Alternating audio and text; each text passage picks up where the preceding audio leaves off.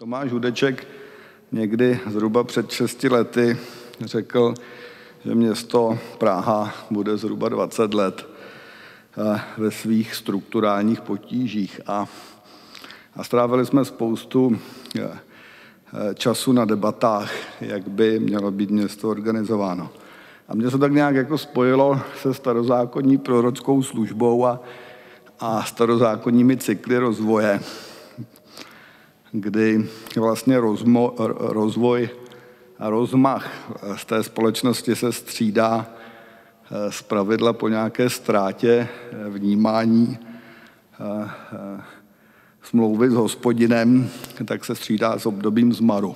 A my bychom si to mohli pracovně představit jako období, kdy se nepoužívají určité pravidla chování nebo struktury eh, pravidel chování, které vedou eh, k soudržnosti společnosti a přitom k respektu k jednotlivým osobnostem. A, a potom bych ještě rád zmínil pana profesora Bartu, egyptologa, který díky výstavě je teď poměrně často citován. A ten hodně zjednodušeně říká, že když společnost má příliš složitý Eh, organizační matrix, neboli vlastně tu strukturu, tak musí nutně dojít k redukci složitosti, která je často doprovázena významnými eh, změnami v, chodě, v chodu společnosti. A, a co eh, si myslím, že se ten seminář té práce, kterou bude představovat nejenom Tomáš Hudeček, ale i další kolegové, čemu se věnuje, takové společné otázce, jestli eh, jsme eh, schopni tento proces moderovat neboli zkusit dohodnout eh, jeho organizovaný průběh. Tak to je za mě všechno a prosím Tomáše, aby se ujal slova, on vysvětlí i spoustu třeba organizačních věcí. Děkuju.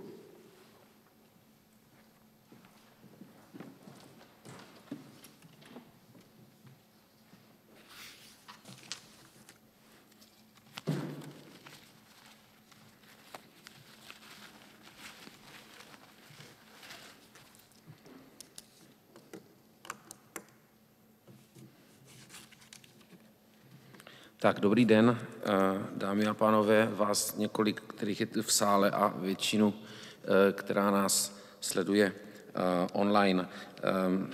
Děkuji moc panu náměstkovi Petrovi Hlaváčkovi, že nás takto uvedl a dovolte mi, abych zahájil tady sérii řečníků, z nichž někteří, jako má maličkost a po mně můj kolega a přítel Jaromír, Jaromír Heinz, budeme prezentovat výsledky projektu, které jsme, který jsme teď v posledních třech letech zpracovávali.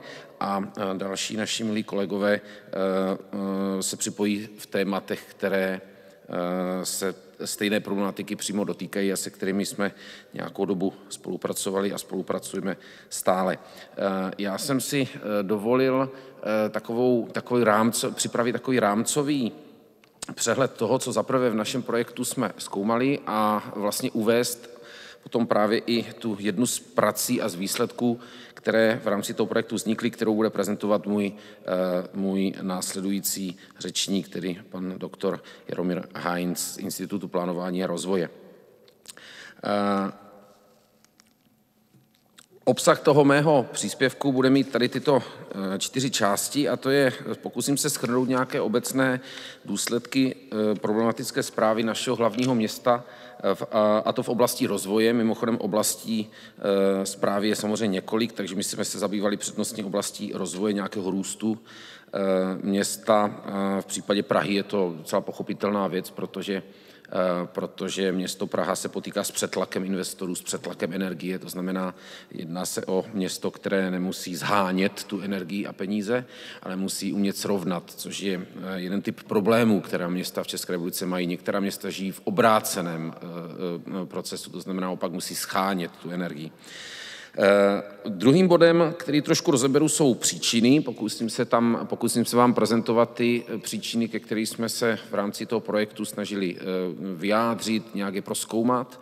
Potom možná trošku směšný třetí bod a to je zkoumání příčin těchto příčin, protože aby jsme mohli ty příčiny napravit, tak se musíme podívat poněkud do hloubky a do nějaké podstaty toho, že ne každý problém lze odstranit řešením příčin. Některé, projekty, některé problémy jsou navázány na nějaké hluboké procesy, které probíhají v našem světě a u takových se bohužel musí léčit následky. A je docela dobré umět to od sebe rozlišit, protože takhle plítváme méně energii. Něco zkrátka nejde, nejde odstranit odstranit. Ano, nevím, třeba v případě, že se obyvatele koncentrují, tak z toho povstává spousta dobrého, ale i spousta zlého.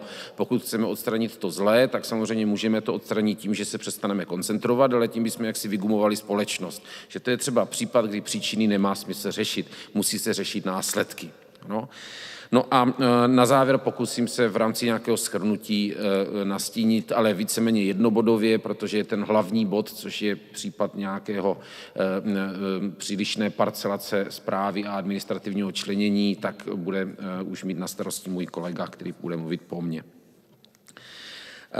Ty důsledky problematické zprávy v podstatě jsou dva. Eh, jedne, jeden je spožďování rozhodnutí, rozhodnutí města vůči nějakým trendům, eh, to znamená v případě, že třeba narůstá počet nějakých eh, autom, automobilů, narůstá počet lidí, kteří se stěhují do Prahy, narůstá počet nějakých negativních vlivů, třeba nějakých externalit nebo splodin emisí, tak zkrátka město v případě, že má složitou zprávu, na tyto problémy reaguje o něco později, než by bylo vhodné, jako kdyby nevyužívá určitě určitého vhodného časového okna pro to rozhodnutí. Eh, v krajním případě to vede až k úplné paralýze a k nějakému úplnému nerozhodování toho města. No a druho, druhý důsledek takovéto problematické zprávy, zasukované zprávy, je suboptimální rozhodnutí města, kdy vznikají rozhodnutí, která zkrátka mohla být udělána o něco lépe. My se budeme v dalších eh, eh, tady příspěvcích zabývat zejména rozvojem. Budeme u bydlení, budeme u výstavby, ale já jsem si dovolil tím pádem na úvod tady dát ty čtyři slajdy, které vlezou do, do problematiky jiné, a to do, do problematiky dopravní infrastruktury, protože na té se nádherně ukážou ty dva, ty, eh, ty dva důsledky ano, té problematické zprávy. Na tomto slajdu jsem chtěl, ačkoliv to není věc, která se týká úplně toho dnešního semináře, protože my se budeme zabývat výstavbou a bydlením, tak já jsem si dovolil využít k ukázce toho spožďování eh, rozhodnutí po případě tvorby suboptimálních rozhodnutí, jsem si dovolil vzít tady tři obrázky z dopravní infrastruktury, kde je to všechno názorně vidět. V případě zákosu respektive základního skeletu dopravní infrastruktury v Praze, je potřeba říct, že jeho vznik byl od roku 1976 zamýšlen a dneska je to 46 let, co vlastně se tento nějakým způsobem realizuje. 46 let a stojí ho o něco více než polovina, takže kdybychom to extrapolovali, tak nám vyjde, že zhruba za 80 let bude tento dostavěn, což je mimochodem, prosím vás, průměrná délka života při narození žen v současné době v České republice. To znamená, všichni Pražané budou mrtví, než město Praha řekne zákos. To znamená, pohybujeme se, prosím vás, u věcí, které významně přesahují eh, život běžného člověka. U výstavby se týká naprosto to stejné. Eh, se, se týká to stejné. Eh, taková ukázka toho, jak se vyvíjelo to rozhodování města, to spožďování těch reakcí na nějaké stavy, ať už vnější, anebo vnitřní, je docela hezky vidět u takové posloupnosti dopravních staveb. A jak říkám, tohle rychle proletím, protože se budeme zabývat výstavbou menších, než jsou zrovna dopravní stavby. A to je eh, výběr tunelu Blanka, neboli severozápadní částí městského okruhu, který, prosím vás, ten výběr byl už v roce 1994, ano, a tenkrát to bylo vybráno tak, že se udělala velká komise, kam se, dal, kam se e, přiřadili starosta Prahy 7, Prahy 6, A řeklo se jim, kterou z variant chcete, celkově bylo devět variant, tři e, podle jména, Dana, Blanka, Hana, a ještě každá měla římské tři číslice, takže jich dohromady bylo devět. No a nakonec si všimněte, byla docela snaha to řešit nějakým kompromisem, takže kolem, toho, kolem té poloviny 90. let se to nakonec vyřešilo tak, že se řeklo, no tak my to nechceme úplně na našem území, my to nechceme úplně na našem území a udělala se jakási kompromisní varianta. Takže to je, když se pustí do rozhodování celek, celku i část. Takže Praha 6, Praha 7 tenkrát se snažila nějak eh, si kompromisně zvolit výsledek. Tady se podívejte, jsme o deset let dále, to znamená, už se profesionalizovaly aparáty městských částí, profesionali se aktivisté, eh, zvýrazňovala se moc těch částí vůči tomu celku a tam jsou zakroužkované tři dostavby metra. Všimněte si, že to se to začalo kroutit. No, z pohledu městských částí logicky, třeba Praha 9 je ráda, že tam má zastávku Prosek a Střížkov, ale z pohledu celého města je to samozřejmě suboptimální rozhodnutí, protože lidé, kteří přijíždí po D8, tak jim výhodnější dneska případně dojet až na nějaké ládví, než aby to nechali stát tedy to auto v těch letňanech. Eh, o zahnutí na západě metra A není třeba mluvit. Takže jsme o deset let později, už ta moc těch, cel, těch částí byla poněkud silnější než o těch deset let dříve. Už ten koncenzus, snaha a koncenzus už trošku mizela. A tohle já mám hrozně rád jako příklad vlastně současného stavu, což je Dvorecký most. Pokud jste s tím obeznámeni, tím lépe. Pokud ne, velmi stručně připomenu, že se jedná o most. V Praze chybí asi pět mostů vůči kapacitě silnic a jeden z nich by se měl nacházet tady v této oblasti někde na, spíše na jihu Prahy, bych řekl, protože mezi Barandovským a Palackého mostem zkrátka chybí most. Ano.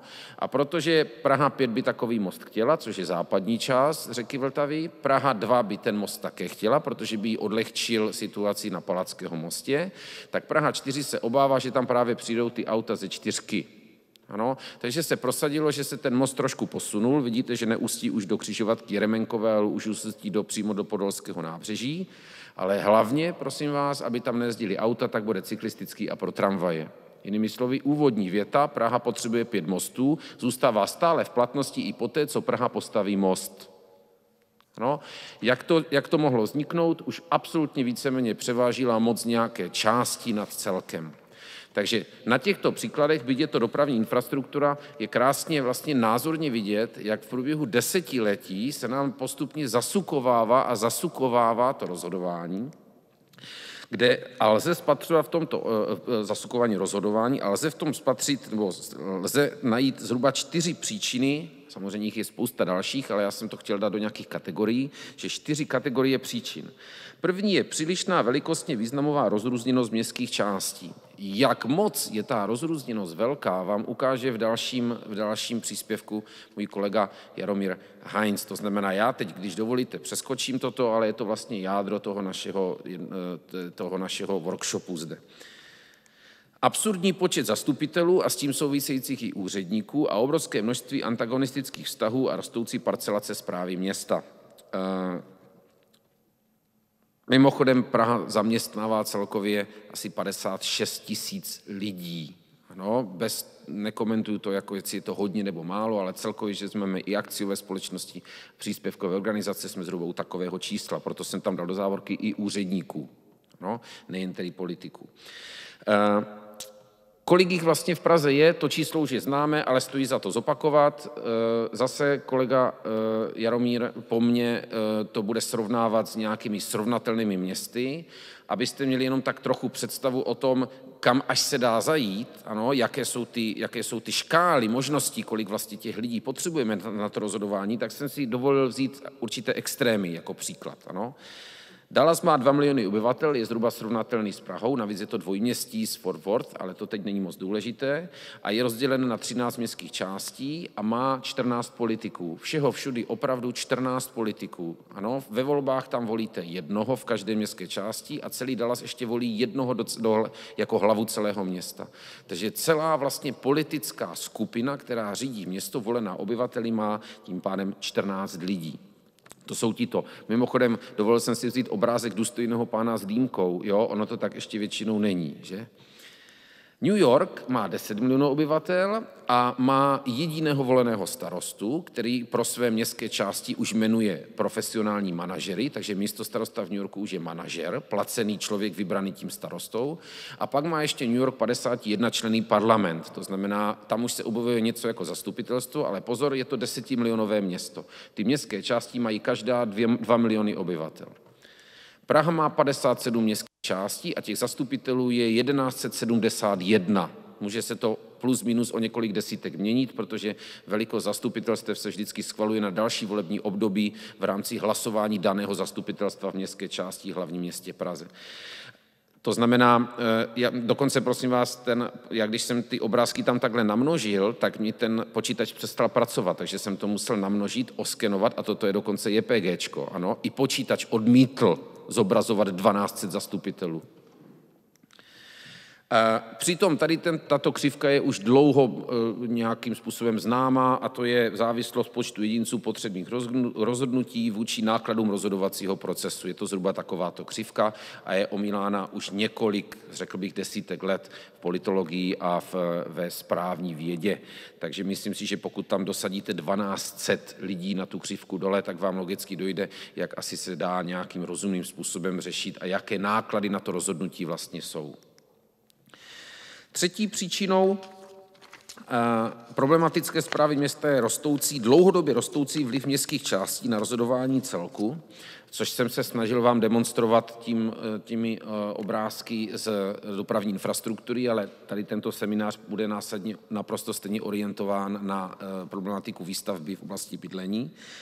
A myslím si, že stojí za zmínku docela důležitý pojem a to jsou takzvaní veto aktéři. Je to prosím vás terminus technicus a udává to, kolik z těch aktérů, které se rozvoje účastní, mají v případě toho rozhodovacího procesu určitým způsobem právo veta, jinými slovy ukončení toho rozhodovacího procesu. Ty dokonce bychom v, eh, v případě hlavního města Prahy a rozvoje hlavního města Prahy mohli dělit na nějaké oficiální a neoficiální, protože jedna věc je, co je napsáno v zákoně, typu, že městská část třeba může eh, eh, říct ne, respektive může se vyjádřit, může komentovat nebo může blokovat. To je samozřejmě z hlediska zákona velký rozdíl, jestli se jedná o vyjádření anebo blokaci, ale ve chvíli, kdy se jedná o veto aktéra neformálního, neoficiálního, tak to může třeba znamenat i nějakého starostu městské městské části, který je zrovna v radě hlavního města Prahy a ten samozřejmě už v případě toho rozhodování přímo ovlivňuje a říká nějakému procesu nebo nějakému rozhodnutí ne. Takže ten sice v zákoně není definován jako, že by měl právo veta, ale ve skutečnosti ho vlastně má. Takže eh, eh, dá se říct, že eh, v poslední době množství a vliv těch městských částí na rozhodování hlavní městě Praze a rostoucí počet veto aktérů v tomto ohledu také roste. No a poslední příčinou problematické zprávy města je odtrženost řízení města od jeho zázemí středočeského kraje, což víme, že je velký problém a dostanu se závěru k tomu, že bychom ho měli řešit úplně stejně.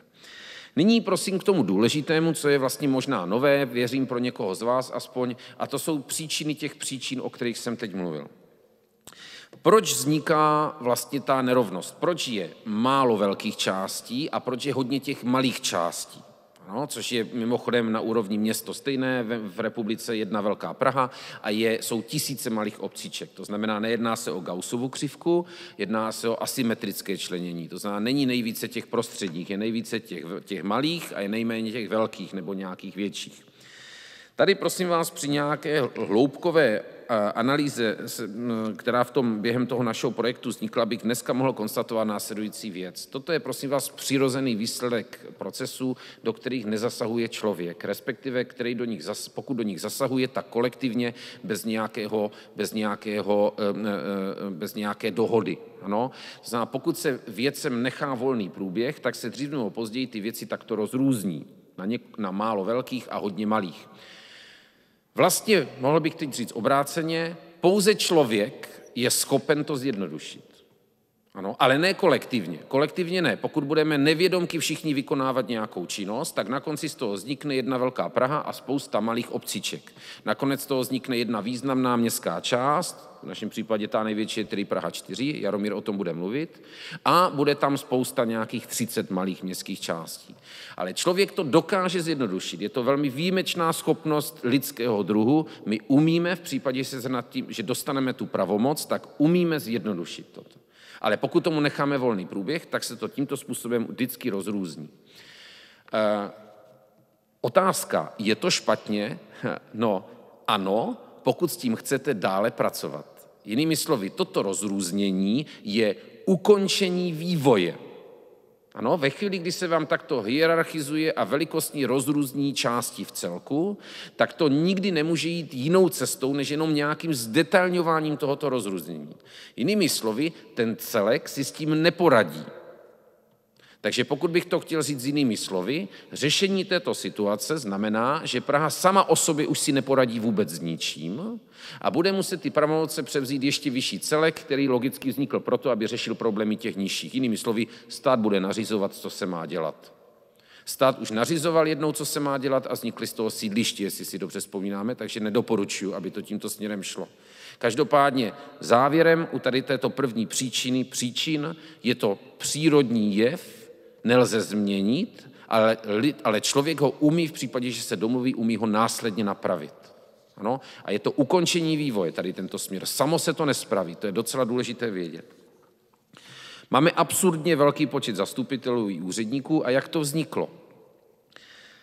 Vzniklo to v roce 1989, kdy jsme eh, s velkým nadšením a velkým strachem z toho, aby se tady znovu neopakovala situace vlády jedné politické strany a centralizace moci, jsme pokud možno na všech dostupných úrovních veřejné zprávy nechali působit mnohohlavé orgány, aby i v případě nějakých výjimečných událostí, kdy všichni budeme volit tu stejnou politickou stranu, tak nedošlo k přílišné koncentraci moci. Eh, nepoučili jsme se příliš v té době, což bylo v době revolučního nadšení, logická věc ze zkušeností jiných měst. A eh, tedy jsme se natolik obávali na té ose diktatura versus konsenzus, což je prostě vládne jeden, domlouvají se všichni, nepoučili jsme se z toho, že je trošku rozdíl, když mluvíme o státu, kde hrozí koncentrace moci a degenerace společností do podoby nějaké diktatury a hrozí stále, vys různé státy v poslední době zmiňované v Evropě, třeba Maďarsko, které se zdá nastoupit tu cestu. Zatímco na té městské úrovni, která je natolik podřízena těm zákonům a tomu společenskému koncenzu z národní úrovně, tak v podstatě jako kdyby nehrozí, i když tam bude jeden správce, že by došlo k nějaké totalitě nebo něčemu podobného. Maximálně dojde k zefektivnění rozhodování. Tam vlevo je na obrázku Atlantida. Dřív města byly rovnostáty, ano, ale už přes x tisíc let města prorostly dovnitř státu. Takže tato obava si myslím, že je lichá. Je zkrátka něco jiného národní parlament a je něco jiného zpráva města. Takže z tohoto důvodu si myslím, že je dobré znát tu příčinu a vlastně postavit se k ní jako dobře, tak byla to nějaká historická volba, která ale možná nebyla správná. Rostoucí vliv městských částí na rozhodování celku a rostoucí počet veto aktérů a ta otázka je tam vyjádřena v tom obrázku, jak to, že dneska i relativně normální, skromní lidé, které potkáte venku, se dostanou do zastupitelstva, o rok později tam vykonávají starostu, o rok později jsou zvoleni i jako do zastupitelstva jako zastupitel hlavního města Prahy, nedej bože, někteří jsou pak zvoleni i jako poslanci a vůbec jim nevadí, že se sedí na třech židlích, přitom dva roky zpátky na to ještě nadávali. Jak je toto možné? Ano, říkáte si, jak to, že taková proměna? A pak, když se nad tím zamyslíte, tak, vám, tak zjistíte tu příčinu těch příčin. No teď to je úplně krásný lakmusový papírek toho, jak oni přišli na to, že ta zpráva je zastukovaná. A jediné, kde to dokážou změnit, je, když si sednou na tři židle. To znamená starosta Prahy 7 nebo starostka Prahy Slivenec nebo starosta eh, Prahy Lisola je zkrátka přišel na to, že když bude sedět na jedné, nedej bože na dvou židlích zároveň, tak zkrátka lépe prosadit ty věci, než když ne. Jinými slovy, úplně je vlastně to, to je flagrantní důkaz toho, že oni přišli na to, že to nefunguje. Že oni zjistili, že aby člověk něco prosadil, tak už musí sedět na dvou nebo na třech židlích. Takže je to vlastně jako až neuvěřitelné. Nemá smysl tyhle lidi, když se nad tím zamyslíme, hanit. Jo? Oni naopak vlastně jsou o krok napřed. Kdyby jsme to dotáhli do úplného skvělého konce, tak tady nakonec všichni budeme sedět na více židlích a vlastně překonáme ten problematický systém, který jsme si nastavili. Ale tušíme, že to je špatný směr, že bychom to měli změnit. Takže tohle je velmi důležité si podle mého názoru uvědomit. No a to poslední je zase výsledek politického kompromisu. Ten bohužel známe v době, kdy to vzniklo v roce, eh, kdy jsme vstupovali do EU a krátce předtím, tak zkrátka střední Čechy by Prahou byly vytaženy mimo evropské fondy a tudíž byla tendence co nejvíce eh, toho od Prahy odloupnout, aby si tyto dosáhly na evropské peníze. Výsledek není, pro výsledek, vlastně pozitivní výsledek tohoto politického kompromisu není třeba jezdit daleko. V Dolních Břežanech máme výzkumné centrum univerzit, které by samozřejmě ideálně bylo v kampusu pražském, ale protože tam by nebyly evropské fondy, tak ji najdete zhruba 500 metrů za hranicí Prahy. Takže to je zřejmý výsledek. Mimochodem politika EU už se změnila za tu dobu, ano. Už se dneska v rámci EU podporují i jádrové oblasti, to znamená zase je to výsledek nějakého minulého kompromisu, který dnes v podstatě už zase by se mohl nějakým způsobem řešit. A teď to řešení. Přílišná velikostně významná rozrozněnost bude v dalším, eh, v dalším eh, příspěvku, takže ji přeskočím. Absurdní počet zastupitelů je bohužel na hlubokou reformu, a to včetně volebních zákonů. To znamená, tady je potřeba to opravdu dřív nebo později přenést na národní úroveň, je potřeba v tom hledat konsenzus. Ten konsenzus není tak těžké najít. Prosím vás, já jsem zapomněl možná jednu větičku. V Ostravě mají, myslím, také 11 členou radu města, nebo 9 členou, možná 9 nebo 11, a pouze náměstci mají gestce. Radní tam jenom chodí a hlasují. To znamená, dokonce ani není potřeba mít tolik lidí. Ano? Už Ostrava ukazuje, že není potřeba mít tolik politiků v radě, v nejvyšším orgánu. Ano? Rostoucí vliv městských částí se dá řešit buď tak, jak vám ukáže Jaromír, v dalším příspěvku, a nebo také, což bych doporučoval, je e, zároveň s tím udělat lepší rozdělení kompetencí. Mám rád obecná vyjádření, protože ta se dají docela dobře s nimi souhlasit, a to je, že celoměstská úroveň by měla zabezpečovat rozvoj. Dlouho jsem přemýšlel, jak nazvat to, co by měly zajišťovat městské části a došlo mně, že vhodné slovo je rekonstrukce. Jinými slovy, už to tam je, ale je potřeba nějaká renovace. No a pak by měla existovat ta participační, občanská, aktivistická úroveň a nech tím pádem její podobně, jak v New Yorku už to zkusili, údržba. Takže vy soutěžíte si údržbu nějakého celku na 3, 2, 3, 4 roky a dostanete veřejné peníze na to, abyste se starali o údržbu těch veřejných prostranství. Možná tyhle tři slova zatím si myslím, že nejdokonalý vystihují ty úrovně, jak by měly být, jak by měly být za ně ty jednotlivé eh, hierarchické eh, eh, řídící, řídící úrovně rozděleny. No a poslední je odtrženo řízení města od řízení jeho zázemí a to je na nějaký další výzkum a věřím tomu, že po volbách současných nějaká nově nastolená spolupráce mezi snad rozumnější zprávou středočeského kraje, která nemá své zázemí, která, pardon, nemá své jádro a naopak tady relativně solidní teď zprávou hlavního města, která zase ví, že se má starat i o to zázemí. Takže tolik souhrn, snad jsem otevřel spoustu témat i věřím, že snad i otázek, ale nerad bych tu zdržoval, protože kolegové to přesně přenesou do toho detailu a věřím, že se nakonec to celý ten náš seminář ucelí právě v tom, nejen v tom celku, ale i v tom uh, detailu do nějaké rozumné podoby, která se vám bude líbit. Takže moc vám děkuji a poprosím uh, Jaromíra Heinze, zda by mohl po mně přijít. Děkuji.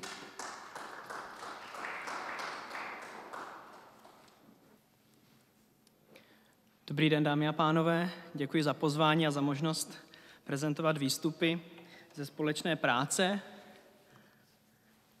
kterou tedy, jak bylo prezentováno, zpracoval Institut plánování, ale iniciátorem bylo ČVUT, Masarykův ústav vyšších studií, Tomáš Hudeček. A spolupracovali na tom kolegové za Institut plánování a rozvoje a ze sekce, která se stará o data, kolegové Jiří Čtyroky, Zuzana Horáková, také kolegyně Šimajová, která je tady zmíněna, což byla naše stážistka, která doplnila informace a práci o důležité věci z věd eh, politických a správních. Studuje ve Francii, doufáme, že se pak vrátí do Čech a bude tady chtít působit. A eh, ještě se na tom podílel i eh, pan ředitel Boháč a další kolegové, kteří spolu s námi v tom týmu připravovali to administrativně správní člení a nesmím zapomenout na head architekti, kteří tvoří ten třetí pilíř, který pro ten projekt Toucher je důležitý, a to spolupráci se soukromým sektorem a vhled toho soukromého sektoru do práce projektu. Tak a teď k samotnému tématu.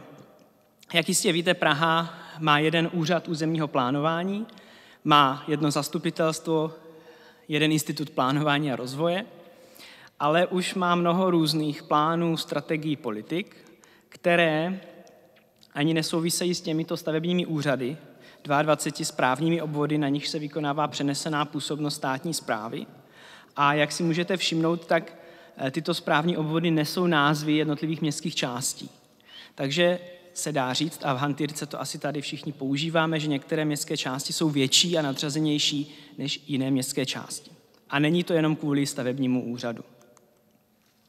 A tedy ve výsledku pod, pod nimi nebo současně s nimi je těch zmiňovaných už tady 57 městských částí v hlavním městě Praze.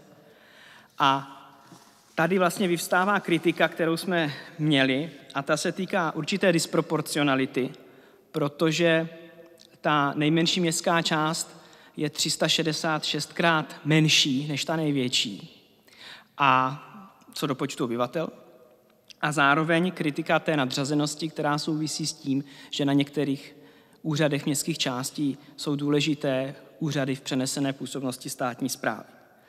A ta kritika možnosti spolupráce nebo schopnosti spolupracovat je samozřejmě potom omezená a pro občana nebo investora vzniká samozřejmě nepřehledný systém, ve kterém je těžké se orientovat a tento nepřehledný systém nejde na vrub jenom samozprávě, ale i státní správě, která mnohdy postupuje jiným způsobem na různých městských částech. Projekt eh, je složen a výstupy projektu z několika částí. Tady jenom rekapitulace, jmenuje se projekt Tačru, který jsme zpracovali dostupné bydlení. Zabýval se dostupností bydlení a tady je ukazující graf postupnou te- sestupnou tendenci v počtu povolovaných a umístěvaných projektů pro bydlení v Praze a týká se to vlastně celého období po krizi finanční poslední v roku 2008, kdy se nepodařilo ani v těch letech hospodářského růstu po roce 2000, dejme tomu 13-14, nastavit jinou tendenci v počtu povolovaných bytů. Tam jsme ukazovali, že je možné sáhnout i do zprávy státní, uspořádání, povolování staveb v Praze. To, co budu prezentovat dnes, se týká samozprávy. Tedy můžete, myslím, že je k dispozici eh, sešit, který říká varianty toho správního členění a to, co budu prezentovat dnes, jsou návrhy, velmi řekněme ambiciózní, ale jsou to návrhy k diskuzi jako téma k debatě o samozprávném členění. Když se podíváme na dosavadní vývoj, tak asi někde v hlavě ho všichni máme, ale je dobré si ho připomenout, jak Praha rostla. Od začátku to bylo souměstí pěti historických měst, které dneska tvoří základ Pražské památkové rezervace a k ním postupně byly přidávány jednotlivé nové celky, jednotlivá města nebo e, části, která postupně se stávaly městy e, během druhé poloviny 19. století a začátku 20. století. Největší nárůst pochopitelně byl e, po vzniku Československé republiky, kdy vznikla takzvaná Velká Praha, která je tam zvýrazněna takovou tou tmavší červenou, reprezentuje v podstatě dnes kompaktní zastavěné území města a takzvanou vnitřní Prahu, by se dalo říci. A potom, pardon, jo, ta, a potom, eh, potom, potom eh, v 70. letech, teda respektive v 60. a 70. letech se Praha rozlosta do dnešní velikosti. Ten poslední přírůstek byl v roce 1974. Na té mapě je i zaznamenáno to, že došlo k určité úpravě katastrálních území, ale to je, to je opravdu drobný detail. Když se podíváme na srovnání s jinými evropskými městy, tak my jsme se podívali na ta, která skutečně jsou relevantní, která i IPR nebo Praha si dává do svého benchmarku. A je to často zmiňovaný Hamburg, Vídeň, to je pochopitelné, proč Vídeň, ale také Lyon, který má, dejme tomu, podobnou morfologii i velikost. Stockholm bývá také poslední dobou často zmiňován a ještě Brusel. Tak o Hamburku se dá říci, že má obdobný, obdobný systém jako Praha, ale má těch administrativních celků jenom sedm. A když říkám obdobný eh, systém a obdobné fungování, jako má Praha, tak tím myslím, že i ten systém rozdělení moci mezi tím, co dělá centrum a co dělají městské části, je stejné. Lyon je příkladem eh, velkého francouzské metropole spolu s Marseillí a Paříží, kde došlo v 80. letech k zásahu státu a vytvoření vlastně nucených, nuceně vytvořených městských obvodů, které měly přiblížit zprávu města obyvatelům. A vnesli do toho jinak centralizovaného hierarchického systému eh, ty arrondissementy a eh, ty jsou ale zase menší a je jich jenom teda devět. Když se podíváme na Brusel, tak Brusel je asi tím, co nejvíce se podobá Praze.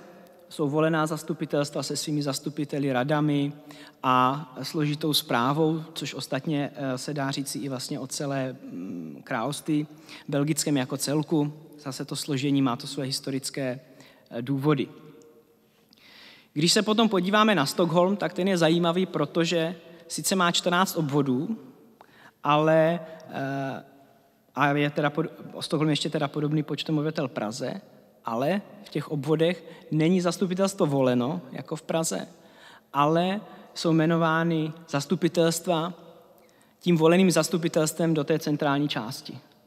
Tedy nedochází k tomu, co v mnoha jiných případech a co známe z Prahy, že vůle zastupitelstva městské části je jiná než vůle zastupitelstva hlavního města.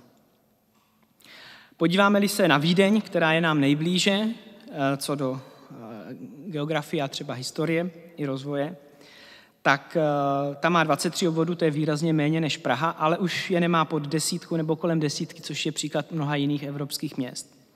A také je vidět na, na Vídni, stejně jako na Praze, že ty městské části vznikaly postupně, postupným nabalováním a růstem Vídně. Také si každý obvod volí své zastupitelstvo a ten model je podobný.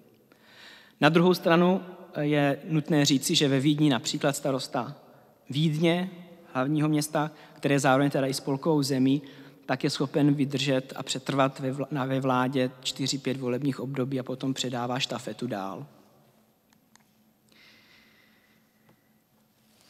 Praha má skutečně nejvyšší počet těch samozprávných celků. Když se podíváme na fragmentaci území, kterou sleduje OECD, tak vidíte, že v tom jsme premianti, nejenom Praha, ale Česká republika jako celek. V roce 2013 jsme ze zemí OECD byli na tom nejlépe, co se teda nejhůře vlastně, protože jsme měli nejvíce, záleží z jaké perspektivy se na to člověk podívá, ale měli jsme nejvíce samozprávných celků na 100 000 obyvatel. A když jsme srovnali Prahu s těmi vybranými městy, tak vidíte, že v průběhu času se to sice zlepšuje, ten počet samozpráv, to číslo se jako kdyby zlepšuje, ale to odpovídá tomu, že narůstá počet obyvatel v těch jednotlivých aglomeracích městských. To zase souvisí s tím, že to, co bylo řečeno uh, Tomášem Hudečkem, že ta města jsou atraktivní a je tady přetlak energie a bylo tomu tak a bude tomu tak i nadále a je potřeba s tím pracovat. A vidíte, že Stockholm tedy uh, to číslo má, to číslo má 1,1, Praha 26,5 v roce 2018.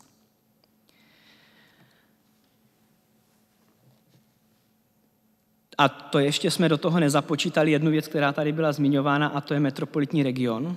My jsme uvažovali v té práci jenom o Praze, ale kdybychom si tady udělali exkurs do toho, kolik je municipalit kolem Prahy, tak myslím, že jich je nějakých 495 plus 57 městských částí, tak to tvoří, to tvoří v podstatě do budoucna potenciální region, ve kterém by bylo potřeba se domluvit na dvou okružních komunikacích, páteřních regionálních vlacích a možná i důležitých ploch pro velkou rekreaci, víkendovou a tak dále. Mohli bychom v tom plánování pokračovat dál. Nemluvě, a to jsem vynechal, to tady o tom budu asi hovořit pánové, o distribuci vůbec bydlení. Tak, aby bylo dostupné a třeba trochu udržitelné. Tak a teď tedy k tomu, co bylo jádrem, a to návrh variant samozprávného členění. Tedy se podíváme do toho sešitu. Já se pokusím stručně vysvětlit, jak jsme k tomu přistoupili. Na Institutu plánování a rozvoje díky našim kolegům a jejich práci máme velmi dobré analytické nástroje. Takže na podkladě lokalit vymezených metropolitním plánem, počtu obyvatel, kteří jsou v území dnes, a při zapnutí vrstev, jako jsou katastrální území městské části a městské obvody, jsme udělali expertní analýzu a odhad odborníků eh, spolu se zástupci samozprávy a nakreslili jsme eh, několik variant, které se víceméně překrývaly a vytvořili, vytvořili klastry pro úvahu o tom, jakým směrem by bylo možné uvažovat o rozdělení hlavního města Prahy. A byly do toho zohledněny počty obyvatel, protože v tom případě dochází k rovnoměrnému rozdělení kompetencí i jaksi silovému v území Prahy. To, co můžete vidět dole, je obrázek, který ukazuje, jak vypadala ta aplikace, v které jsme měli možnost pracovat a cvičně si zkoušet přiřadit k sobě různé obvody a variantně řešit, jestli eh, má být Praha 11 spolu s Prahou 15 nebo naopak nemá. A tedy z toho vznikl návrh první, který je tady označen číslem 15 a je to varianta 1, rozdělení Prahy na 15 celků. Tady došlo k tomu, že došlo, že se sloučily stávající městské části do větších celků, došlo ke sloučení Prahy 1 a Prahy 2. Jediné eh, území, které bylo rozděleno, je Praha 8, kdy její dolní nebo spodní část byla přiřazena eh, k Praze 7, ta část, která je eh, v Nívě v záhybu, v záhybu řeky Vltavy, Karlín a Libeň. A potom ještě došlo k úpravě hranice na Praze 15. Vidíte, že levobřežní část Prahy je zastoupena jenom třemi městskými částmi. Pokud se podíváme na počet obyvatel, tak se pohybuje v rozmezí 60 až 131 tisíc obyvatel, v průměru kolem 100 tisíc, což je odpovídající kapacita a velikost například eh, městské části eh, Praha 4, ta je teda ještě větší, ale už je to velikost, která je schopna zajistit všechny potřebné věci na vysoké odborné úrovni z hlediska samozprávy i z hlediska státní zprávy. A došli jsme k tomu, že také jsme redukovali ten počet městských částí. Snahou bylo mít uh, ty celky vyrovnané a když se podíváte podrobněji, tak některé jsou, některé jsou pod 100 000 obyvatel, ale to je v místech, kde se předpokládá budoucí rozvoj, kde se nachází transformačně rozvojová území a lze předpokládat, že výhledově tato území přidají těmto městským částem řádově 10 tisíce obyvatel, takže dojde k postupnému vyrovnání. A samozřejmě excentricky působí Praha eh, na východě a na jihu, kde pochopitelně z historických příčin pořád ještě spíš jde o zástavbu a typ zástavby a strukturu zástavby zahradních měst a vesnického typu osídlení příměstského, nikoliv městského, proto ten počet obyvatel je nižší. Tady je rekapitulace. Eh, důležité pro nás také bylo, zabýváme se tím a potýkáme se s tím každý den skoro, mít například Pražskou památkovou rezervaci pod jednou zprávou. Jo, je vlastně otázka, proč tomu tak není, když skoro ve všech případech je Pražská památková rezervace řešena jiným způsobem, výjimečně, nebo se na ní neuplatní, ani to nelze uplatňovat stejná pravidla jako na ostatní části. Druhý návrh, 8. Tak snažili jsme se vytvořit i územní členění, které by bylo skutečně redukcí počtu jednotlivých celků a směřovalo by k tomu třeba hamburskému modelu. A tady jsou městské části větší, ale nedosahují nikdy 200 eh, tisíc, teda dosahují v případě Prahy střed 210 eh, tisíc obyvatel, ale jinak jsou po 200 tisíc. A historické centrum Prahy je tady uděláno tak, aby skutečně odpovídalo Pražské památkové rezervaci. To je jediná změna a jinak zase ty městské části, ty nové celky, jsou združovány ze stávajících městských částí. Velikostně se potom pohybujeme od 112 přes 168 až po 219 tisíc obyvatel. A je to tedy výrazná redukce proti současnému stavu v tom počtu městských částí. Při zachování, to je důležité říct, při zachování jejich současných kompetencí, to znamená to co jsme zvyklí u městských částí najít dnes, tak by tam zůstalo.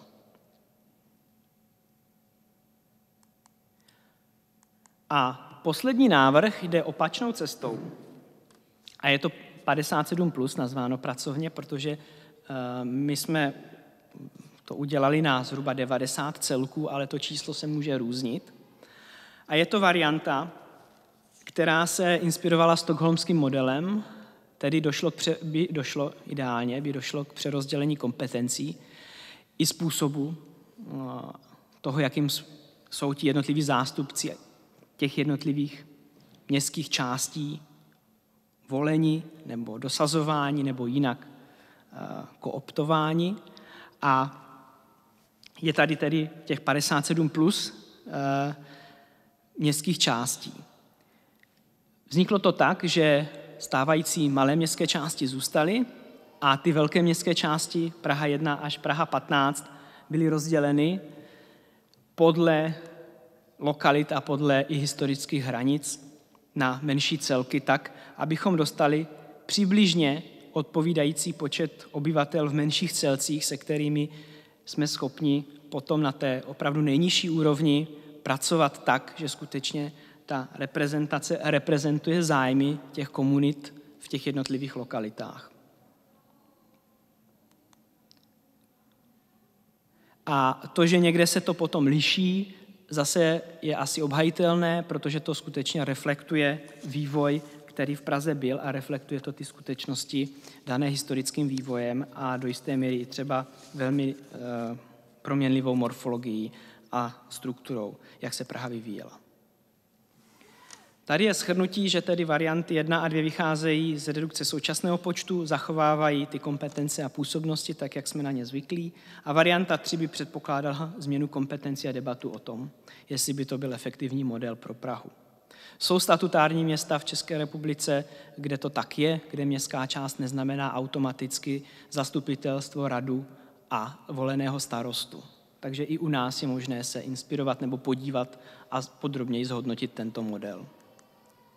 A teď do diskuze, eh, když jsme eh, prováděli to vymezení hranic území, tak jsme si uvědomili, že někde by bylo dobré narovnat ty hranice, protože historicky městské části byly někdy vymezeny katastrální hranice, ale už dnes neodpovídají realitě a ta oprava by byla dobrá, protože v té denní praxi jsou to území, která jsou už mimo vnímání reprezentantů i obyvatel té městské části. Jsou prostě za hranicí, za komunikací, místo ztracené a potom při rozhodování a plánování těch měst se najednou všichni vyděsí nebo jsou překvapeni, aha, na tuto městskou část jsme zapomněli, protože ta tam má ten malý kousek. A i ona sama zapomněla na to území. Takže to by bylo dobré potom třeba zvážit. Samozřejmě proti tomu stojí eh, statistiky a evidence obyvatel, nemovitosti a dalších věcí, které jsou v nějakých historických řadách. Tak tam bude potřeba vážit. No a eh, poslední věc do debaty je věc, která se týká důvěry ústavním, ústavním institucím.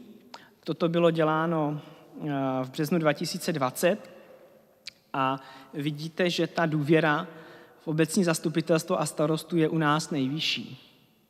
Tedy je potřeba v těch úvahách ještě vzít potaz to, že skutečně to lokální zastupitelstvo reprezentuje obyvatele a má nejblíže a má možná v současné době také ale největší legitimitu a největší důvěru. A při těch úvahách o tom při uspořádání je asi nutné i toto vzít v potaz. Protože když se podíváte na to, co si o tom myslí ve Francii, eh, což udělalo Science Po, eh, takový průzkum, tak vidíte, že všichni v, následují, v posledním období zaznamenali pokles důvěry. Jediný starosta eh, ten pokles nezaznamenal ve Francii a asi by se dalo říct, že i u nás jsou ty tendence podobné a je tedy potřeba s tím pracovat tak, abychom tu zprávu města pořád zachovali těm občanům co nejblíže. Děkujeme vám za pozornost, já děkuji i za celý tým, který se na tom podílel a kolegům, kteří tady nemohou být dnes přítomní a jsou online s námi. Děkuji vám. a těším se na případné otázky.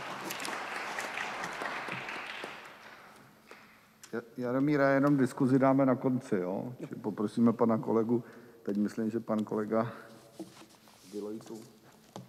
Děkuji za slovo, já se odmaskuju. A podíváme se na už detail rezidenčního trhu, půjdeme eh, se podívat na analýzu eh, nájemního bydlení v Praze, respektive aktualizaci této analýzy.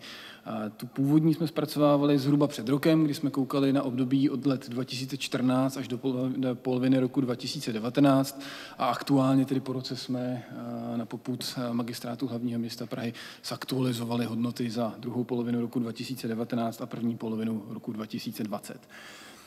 Musíme si přiznat, že v roce 2020 se toho děje opravdu hodně. Já si myslím, že kdybychom tohle viděli před rokem, že bychom se velmi divili. Dneska už nad tím jenom mávneme rukou, stejně tak jako chodit v roušce na poštu nebo do banky by nebylo možné. Dneska v tom žijeme celkem bez problémů. Pojďme se ale podívat na ten detail, to znamená, podíváme se, jak se vyvíjelo nájemní bydlení a nájemné, respektive ceny nájemného v pražské aglomeraci, respektive v Praze.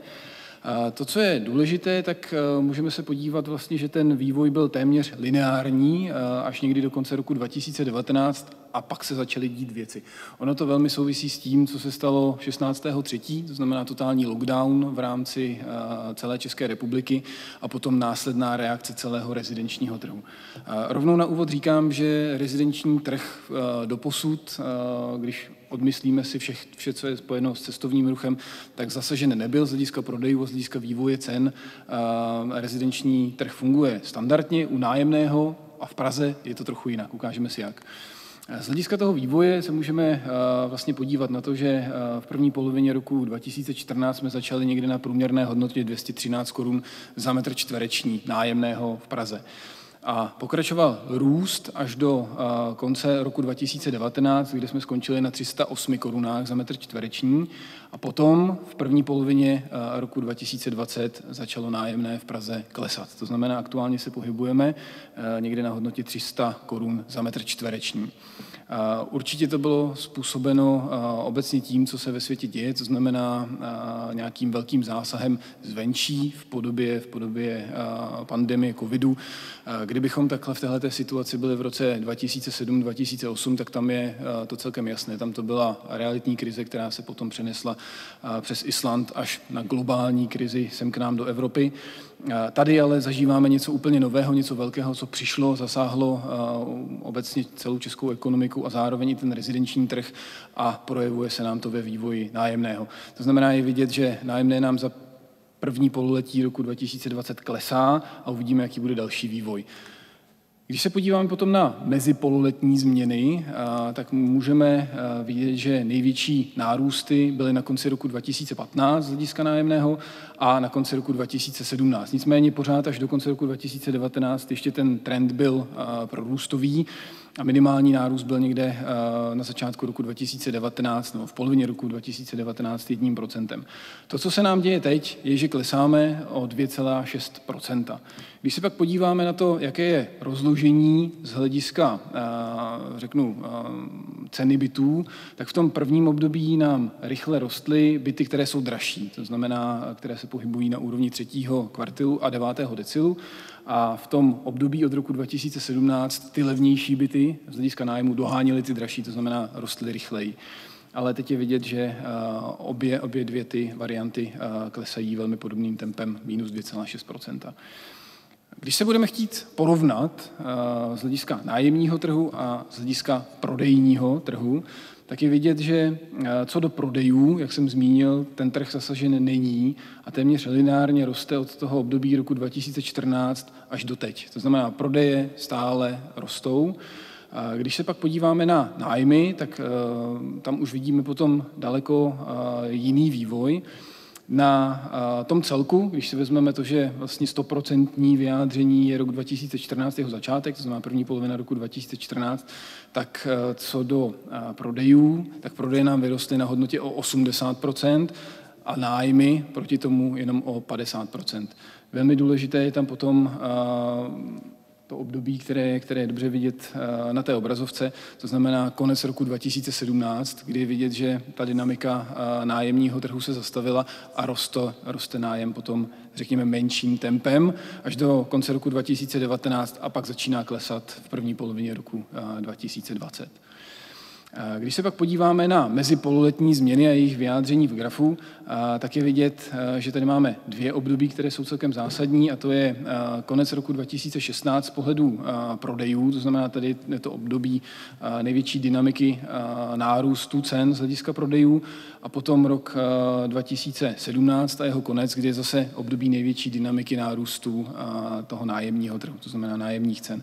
Ono je to celkem logické, protože když se kupují dražší byty, tak z nějakým ročním spožděním potom se to projevuje vždycky do nájmu. To znamená, tak jak roste trh standardního rezidenčního nebo standardní rezidenční, tak potom samozřejmě i nájmy kopírují ten, ten vývoj. Až potom na ten zásadní rozdíl na konci roku 2019 a v první polovině roku 2020, kdy je vidět, že co do prodejů, tak stále ten trh roste, sice menším tempem, ale roste a nájemní, ceny nájemního bydlení nám začínají klesat. Můžeme se podívat na větší detail po katastrálních územích. Tady si přisadím jedno číslo a to je ještě větší než ten počet městských částí, který je 57. Praha má 112 katastrálních území, takže se bavíme o, o více jednotkách. A můžeme se podívat na ten vývoj od roku 2014 až do poloviny roku 2020. Trochu překvapivě nejvíce rostou eh, periferní části, periferní katastry Prahy, jakými jsou na severu Vinoř, Satalice, Kyje, Hostavice, a dole potom na jihu Uhříněve, Skolovraty, Velká Chuchle, eh, trochu, trochu překvapivě, ale to je kvůli novému developmentu. Potom z hlediska eh, západu například Růzině, Přední Kopanina a nebo Studulky. Tam je ten růst spojený s velkým rozvojem developmentu na Praze 5. Oproti tomu eh, nejméně rostoucí eh, katastrální území z pohledu ceny jsou ty centrální části, to znamená Hračany, Malá strana, Staré město a Josefov, ale zároveň i některé další vybrané eh, katastry, které, řekněme, na té cenové hladině byly výše. To znamená celkem, celkem logicky největší růst je zaznamenán tam, kde se rostlo z té menší cenové hladiny. Když se pak půjdeme podívat na velký detail těch jednotlivých katastrálních území, tak tohle je potom vývoj zase na celém období od roku 2014 až do první poloviny roku 2020. A ta čísla, která tam vidíme, není cena. Jsou to počty inzerátů a to je velmi důležitý faktor. Cena je vyjádřená tou linkou a to, co pak ale vidíme, vždycky ten rozdíl mezi předposledním a posledním číslem je to, jak se nám zvedl trh. To znamená, jak se nám zvedá nabídka nájmů v té dané lokalitě. Nicméně nejdražším katastrálním územím v rámci Prahy je aktuálně Malá strana, následovaná Josefovem, Novým městem a Vinohrady. A Vinohrady jsou velmi překvapivé v té, řekněme, eh, pomyslné soutěži na tom daném žebříčku. Já tam ještě doplním eh, ty hodnoty, kterých se to týká. To znamená, aktuálně nejdražší katastrální území je Malá strana s 365 korunami za metr čtvereční. Když to budeme chtít porovnat eh, s těmi zjištěními před rokem, tak tam byl nejdražší Josefov se 410 korunami na metr čtvereční. To znamená, je vidět, že ta centrální Praha trpí určitým jevem, který si popíšeme uh, za nedlouho, ale můžeme říct, že něco se, něco se v té uh, části Prahy děje. Zároveň se potom můžeme podívat na takového černého koně uh, téhleté soutěže, a to je Staré město. Staré město před rokem bylo na úrovni 377 korun za metr čtvereční a aktuálně je na hodnotě 314 korun za metr čtvereční. A když se potom podíváte na ta čísla, která vyjadřují tu nabídku, tak se nám třikrát zvedl počet inzerátů na nájem bytů v té dané části. Půjdeme se podívat potom na větší detail a podíváme se na to, jak je vlastně aktivní trh s nájemním bydlením je vidět, že celé centrum Prahy je velmi aktivní co do eh, hledání si bydlení, až na nějaké výjimky a ty výjimky potom u toho centra tvoří Malešice, případně Hostivář. My jsme vlastně ty hodnoty přinesli do takzvaného gridu, do mřížky 500 x 500 metrů a hledáme aktivitu, to znamená, eh, jak, jaká je vzdálenost, abychom získali 40 inzerátů eh, na nabídku bytů. Je vidět, že ten trh je stále velmi aktivní, ale půjdeme se podívat na další souvislosti. Tohle je cenová hladina v té dané mřížce v roce 2014. Tady je velmi důležitá ta legenda. Legenda se čte trochu složitěji, budeme to číst odleva a od zhora dolů a ty nejvyšší hodnoty potom jsou úplně napravo. Nicméně v tom roce 2014 ten trh začínal někde na úrovni 115 korun za metr čtvereční a končil někde na hranici 430 korun za metr čtvereční, ale hned si popíšeme proč. Ten poslední interval je relativně velký, od 280 do 430 korun za metr čtvereční. To znamená, ty nejdražší části tady byly ty centrální. To znamená, když se podíváme na ty jednotlivé katastrální území, tak je to určitě o Hračanech, Malé straně, Starém městě a Josefově. Případně ještě Vyšehrad byl na té nejvyšší cenové úrovni. Když to pak ale přeneseme na konec roku 2019, tak to bude vypadat takhle. To znamená, za těch pět let jsme se posunuli vlastně na úroveň té nejvyšší cenové kategorie v rámci celé Prahy až na nějaké periferní výjimky. Můžeme se na to podívat i optikou vlastně legendy, která se nám bude měnit. To znamená, tady si odhalíme tu, tu správnou nejvyšší hodnotu pro rok 2014 a to bylo 350 korun za metr čtvereční v té centrální části Prahy. A když to pak přeneseme do aktuálních hodnot konce roku 2019, tak je vidět, že se posouváme až na hranici 420 korun za metr čtvereční. Zároveň jenom tím optickým proklikem a tou změnou je vidět, že ta vyšší cenová hladina se nám posunula směrem na sever a na západ. Ty levnější potom části jsou právě na východě a na jihu Prahy. To jsme si řekli, co? Co jsme vlastně zjistili v rámci té analýzy, k čemu jsme došli. Teď je hrozně důležitý vlastně říci si, proč. Proč se tak děje, co se děje s tím pražským nájemním trhem.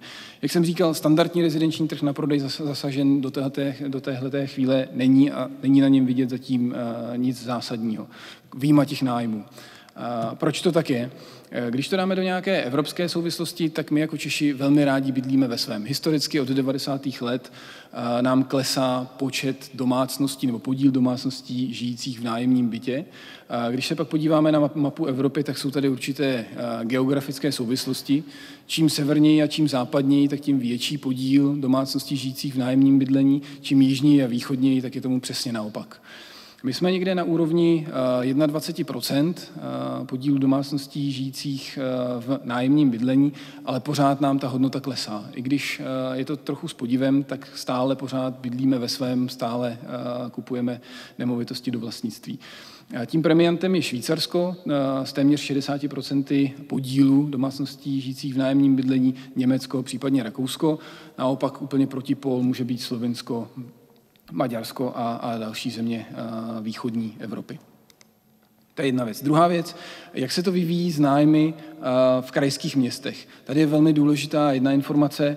Nájmy nám klesají v tuto chvíli jenom v Praze a projevuje se to hlavně v Praze. V ostatních krajských městech zaznamenáváme buď jako v případě Plzně nějaký mírný pokles, ale to řekněme nějaká korekce, anebo naopak růst ve všech ostatních krajských městech. Jenom Praha má aktuálně tenhle ten problém, ale bude to jinak. My jsme zkoumali, proč vlastně se tohle děje a velmi nás zajímalo, jaký vliv má na nájem krátkodobé ubytování, trh s krátkodobým ubytováním v Praze. A dali jsme si tady do souvislosti vývoj dvou veličin a to je to, kolik bytů se objevuje eh, vlastně na platformě Airbnb, eh, to je OSA X, a zároveň jak moc se zvedá počet inzerátů eh, v té dané lokalitě po jednotlivých katastrálních územích. A to, co nám tady jasně vyplývá, a my to vidíme v té bublině, je, že nejvíce bytů na krátkodobé ubytování, které se potom přetavily na standardní nájemní trh, je na, Josef, na katastrálních územích Josefova, Starého města, Nového města a Malé strany. Jinými slovy, to, co se dneska děje na tom trhu, eh, je způsobeno tím, že byty na krátkodobé ubytování se od března přesouvají na trh dlouhodobých nájmů a tak trochu nám posouvají jednak tu cenovou hladinu, ale obecně i celou nabídku na tom nájemním trhu v rámci celé Prahy. Nejvíce zasažené jsou tyhle ty centrální části Prahy a ono to pak ovlivňuje i ty periferní části, to znamená ovlivňuje nám to průměr celé pražské aglomerace. Takhle to vypadá, když to přeneseme do mapového podkladu, to znamená tam, kde se nám zvedla nabídka klidně až o 300-400% od června roku 2019 do června roku 2020, jsou přesně ty centrální katastrální území v rámci, v rámci Hračan Malé strany Starého města a Josefova. A zároveň trochu i na Zbraslavy, řekněme, ale tam se jedná o nějaký, o nějaký výkyv. To, co je velmi důležité sledovat, to znamená podívat se na ten detail a jít trochu za hranici té analýzy, kterou jsme zpracovávali. Tady máme vyjádřeno po týdnech, jak se vyvíjel nájemní trh v Praze a zároveň potom nájemní trh v jednotlivých krajských městech a ta krajská města jsme dali dohromady. A porovnáváme to s vývojem před rokem. To znamená, když se podíváme na ten graf, tak to zelené, světle zelené je aktuální vývoj v roce 2020 nájmů v Praze ta tmavě zelená nám potom ukazuje, jak to bylo před rokem. Ta světle modrá nám ukazuje vývoj a cenovou hladinu v rámci krajských měst, to znamená zprůměrovaná krajská města a tmavě modrá nám ukazuje eh, na stejných lokalitách období před rokem. Co z toho můžeme usuzovat je velmi jednoduché. V krajských městech se v tuhle chvíli nic neděje. Covid nám nějakým způsobem neovlivnil eh, trh nájmů v krajských městech. To, co je ovšem zásadní, a tady je to vidět v tom týdnu od 16.3., to znamená, tehdy přišel ten lockdown a trh se začal měnit. Přicházelo relativně velké množství právě bytů z krátkodobých nájmů na trh dlouhodobých nájmů a je vidět, že od dubna Praha nám klesá pod hodnotu loňského roku. A tak, jak jsme se bavili o tom, že na konci června jsme byli na hodnotě 300 korun za metr čtvereční, tak je vidět, že na konci, na konci června po těch jednotlivých týdnech, to znamená ta, řeknu, statická hodnota úplně na konci června už byla 293 korun za metr čtvereční. Když to pak přeneseme do delšího času, podíváme se na to samé po jednotlivých týdnech, ale podíváme se k dnešku, jak je to dneska, tak je vidět, že se nám ty nůžky v Praze významně rozevírají, to znamená, už jsme významně pod hodnotou loňského roku, kdy jsme byli někde na úrovni 321 korun za metr čtvereční v Praze a jsme na úrovni 292 korun za metr čtvereční v rámci Prahy. Je vidět, že jsme se dostali eh, na nějakou, řekněme, stabilizovanější úroveň, okolo 290 korun za metr čtvereční, ale pořád hrajou velkou roli ty eh, převedené krátkodobé nájmy do eh, toho dlouhodobého nájemního trhu. Ještě je druhý faktor, který významně ovlivňuje to, co se teď v Praze děje s nájemním trhem. Jednak je to ten COVID, který jsem zmiňoval, omezení cestovního ruchu, omezení krátkodobého ubytování. Druhý velký faktor, za mě velmi nebezpečný, protože přenese ten problém aktuální, který se, nebo tu situaci, neříkejme tomu problém, ono nám to vylepšuje dostupnost bydlení, dostupnost nájemního bydlení, ale přenáší se vlastně ta situace do krajských měst. A to souvisí s distanční výukou v rámci vysokých škol protože eh, české školství eh, je víceméně eh, postaveno na tom, že pracuji a zároveň studuji, ale ve chvíli, kdy nemusím nikam dojíždět, to znamená nemusím do žádného velkého města, tak se pokusím najít si třeba brigádu nebo tu práci někde v lokalitě, kde žijí. A velmi významně to může ovlivnit nájemní trhy v těch velkých krajských, případně univerzitních městech kam vlastně nebudou studenti dojíždět a tím pádem ten bytový trh, který standardně byl využíván pro ubytování studentů a tak trochu suploval třeba koleje, zůstane neobsazený. Samozřejmě další věc je krátkodobé ubytování studentů na kolejích a můžeme zmínit i to, že se vlastně neodehrává žádná mezinárodní výuka, to znamená, že žádní studenti ze zahraničí nepřijíždí do Prahy, případně do, do krajských měst, aby tam studovali. To znamená, všechny kapacity ubytovací zůstávají volné a to ten trh může zásadním způsobem ovlivnit. Tak, to je z mé strany všechno a pojďme o tom případně diskutovat.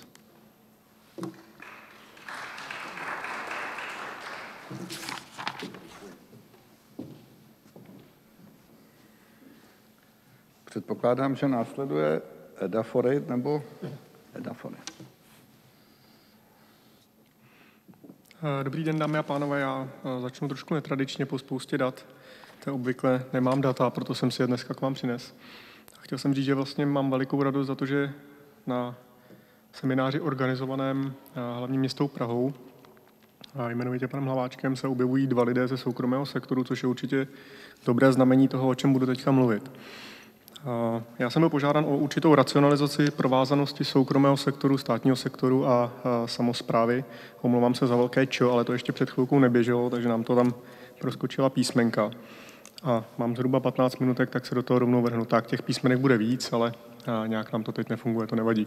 Já tenhle obrázek používám na fakultě architektury úplně na začátek, aby si mladí architekti uvědomili, kde se vlastně nacházíme A úmyslně to nejsou kruhy, protože z kruhy má tendenci, ať soukromý sektor, nebo samozpráva, kromě limitů snad území, s kterými máme tendenci je tak nějak natahovat a dělat z nich šišoidy, kdežto přírodně nejpevnějším tvarem je trojuhelník a tady se snažím popsat základní paralelu mezi, mezi vztahy, vztahy v území.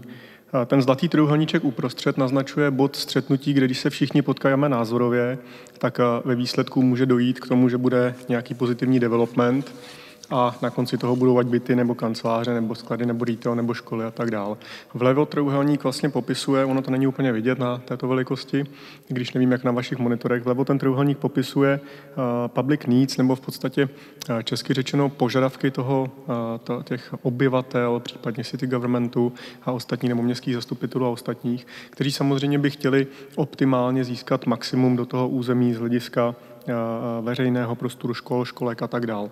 Naproti tomu, a řekl bych, že velice nešťastně několik let eskalovaná eskalovaná, až bych řekl, nenávist vůči developerskému světu, který to nakonec tak jako tak zaplatí. Já si jenom dovolím tady znova takovou malou paralelu. Je třeba si uvědomit, že 3,8 milionů lidí ve státním sektoru, pardon, ve soukromém sektoru vytváří zdroje pro to, aby jsme mohli obhospodařovat tento stát a postupně přerozdělit až k nějakému sociálnímu smíru. To znamená představa o tom, že samo město nebo sám developer něco postaví, on, oni jsou si velice provázaní. Je to neodiskutovatelná propojenost a ve výsledku to musí být rovnocení partneři, protože když se nedohodnou, tak nedospějí k tomu trojuhelníku. Když developři, jak jsem párkrát slyšel tady v legraci od pana Hlaváčka, developři, vepři, budou chtít moc peněz, tak to nakonec nepůjde, protože nevytvoří zároveň prostory pro, pro město. Závislost na územním plánování je úplně jasná. Je třeba si uvědomit ten základní aspekt, pokud špatně nebo nedostatečně budeme plánovat město, tak prostě nebudeme mít dostatek prostředků na to, aby jsme stavili město krátkých vzdáleností. To znamená, budeme v ním mít všechno, ať už jsou to kanceláře, ať už jsou to byty, ať už je to samozřejmě služba veřejná. Bez toho, aniž bychom někde vyrobili tu veličinu, kterou se říká zdroj, tak neumíme zaplatit ten zbytek. Já umyslně přeskočím na další stránku a Přestože by se to mohlo zdát, že eh, vám budu vykládat o řešeních, tak já tady v podstatě budu pokládat otázky a snažit se naznačovat věci, které jsem pozbíral za eh, několik let eh, diskuzí v různých panelech, a ať už jsem samozprávou, státní zprávou na různých ministerstvech, kdy jsem vlastně obhajoval určitá čísla. To první je demografie v souvislostech. Kolik nás bude a proč? Já jsem v předloňském roce byl účasten dopravní iniciace, kde jsme rozebírali, nakolik, nakolik lidí máme, se mají stavět dálnice. A musím říct, že celkem logicky se pracovalo s nějakými daty eh, statistického úřadu a představa o tom, že dálnice jsou třeba naplánovat na 8 milionů lidí, je prostě lichá, protože to znamená jednoznačný krach této země a můžeme se všichni odstěhovat do Chorvatska, ať máme konečně to moře, protože tam zhruba patříme. My se musíme posunout v plánování na tu úroveň, že plánujeme republiku prorůstovou a říkám musíme, protože jiná, jiné východisko není, pokud nechceme nechat řádit COVID na to, aby nám sbíral ty starší ročníky a, a, a uživili jsme tu republiku v její demografické křivce, která samozřejmě napříč celou Evropou padá. A nechali jsme proto zpracovat studii, které se podílelo několik významných českých demografů a včetně pár demografů Čechů, ale pracujících pro Věnan Institut o demografii. A z ní vyšlo, že pozitivní vývoj do roku 2050 může znamenat až 1,4 milionu obyvatel navíc. A odsud vychází ta první, ta první úvaha vůči plánování měst a republiky. My můžeme mít zhruba plus 13% lidí v republice, pokud se k tomu budeme chovat k celému vývoji republiky. Takže si řekneme, jsme prorůstoví a chceme dospět k tomu, že budeme eh, profitovat všichni z toho, že tato země roste. Eh, optimisticky tady vidíte, že nás bude 15 eh, milionů v roce 2100, ale to ještě uvidíme, jak se nám bude dařit rodit, i když dneska při covidu, když to mám trochu zlehčit, tak je nás hodně doma. Já čekám, že bude vysoká porodnost, doufejme, že ne stejně vysoká rozvodovost. Je zajímavé, že když spočítám, že nás bude o 1,4 milionů lidí víc, což by mohlo za určitých okolností, tak eh, každý jeden pracující nový občan této země přináší zhruba 1 milion korun do, do hrubého domácího produktu, což je 1,400 miliard. Když to porovnávám proti stagnaci, a to znamená, že by nás bylo pořád stejně. Tady jenom nabádám k vyšší porodnosti, protože když nebudeme mít vyšší porodnost, tak se nám nebude dařit ve výsledku udržet ani stav, který máme. Multiplikační efekt. A zase zeptám se, proč potřebujeme stavět, protože často slýchám ti uh, develo vepři, nebo jak to říkal, zase zlehčím, uh, oni nám kazejí to prostředí. Uh, City Mayor Charles Pnumi kdysi říkal, že tam, kde se staví, tam se buduje, já to opakuju velice často, ono jedno bez druhého v zásadě nejde. A já to převedu jenom do ekonomické roviny. Při schvalování nebo přípravě nového stavebního zákona probíhá RIA, a u ní došlo k docela významnému výpočtu, který, o který se opírám. Jinak ta data, která tady máte, na to už jsem napsal svoji první knihu, byť jsem myslel, že první kniha bude humoreskní, tak nakonec je o, datech nebo jako brožuru. Takže ta data jsou pozbíraná po různu z mého pohledu z kvalitních zdrojů, to znamená ti, kteří jsou oborovou autoritou. V tomto případě víme, že každou korunu, kterou proinvestujeme do do stavebnictví, tak získáváme 3,09 korun, koruny do hrubého domácího produktu. Zjednoduším, pokud jste stavili domek za 10 milionů korun, což je docela slušný domek, nebo to samozřejmě kde, tak jste přispěli do, do hrubého domácího produktu nebo do produktivity této země 30, bezmála 31 miliony korunami. To důležité na tom je, že to vlastně zaměstnává spoustu lidí, abyste si to představili, když se staví, tak se musí plánovat, musí se připravovat, to znamená, ať jsou v tom ať architekti, ať banky a tak dále, a tak dále. To je ta multiplikace ve stavebnictví a ona by samozřejmě mohla jít do nekonečna, protože by se multiplikovalo na multiplikaci. Ale to, co chci poukázat, že když nebudeme stavět, tak tyhle peníze prostě budou chybět, protože z hrubého domácího produktu nakonec máme odvedené daně a ty daně, to je to, co jsem říkal na začátku, těch 3,8 milionů lidí v soukromém sektoru. To neznamená, že vydělávají na zbytek, oni vytvářejí zdroje a ten zbytek s, ním, s nimi samozřejmě hospodaří, protože my se samozřejmě taky neobejdeme bez policistů, lékařů a tak dále, a tak dále, včetně, včetně lidí na samozprávě protože někdo ten proces celý hlídat musí a samozřejmě jeden samostatný stavitel, budu nazývat radši stavitele než developři, jeden samostatný stavitel jednoznačně nevidí kontext celého města. Takže tím chci jich jenom obhajovat to, že to není jenom o soukromém sektoru.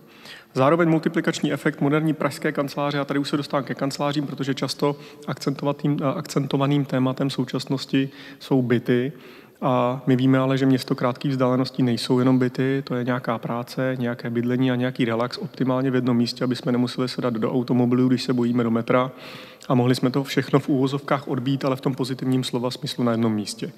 3,7 milionů metrů čtverečních v loňském roce, které reprezentoval nový uh, kancelářský trh, to znamená dobré rekonstrukce a novostavby, v podstatě za tu dobu vyprodukoval to znamená od převratu zhruba 500 miliard korun českých do eh, hrubého domácího produktu. A to není málo peněz, z toho jsme si jako pohodlně žili.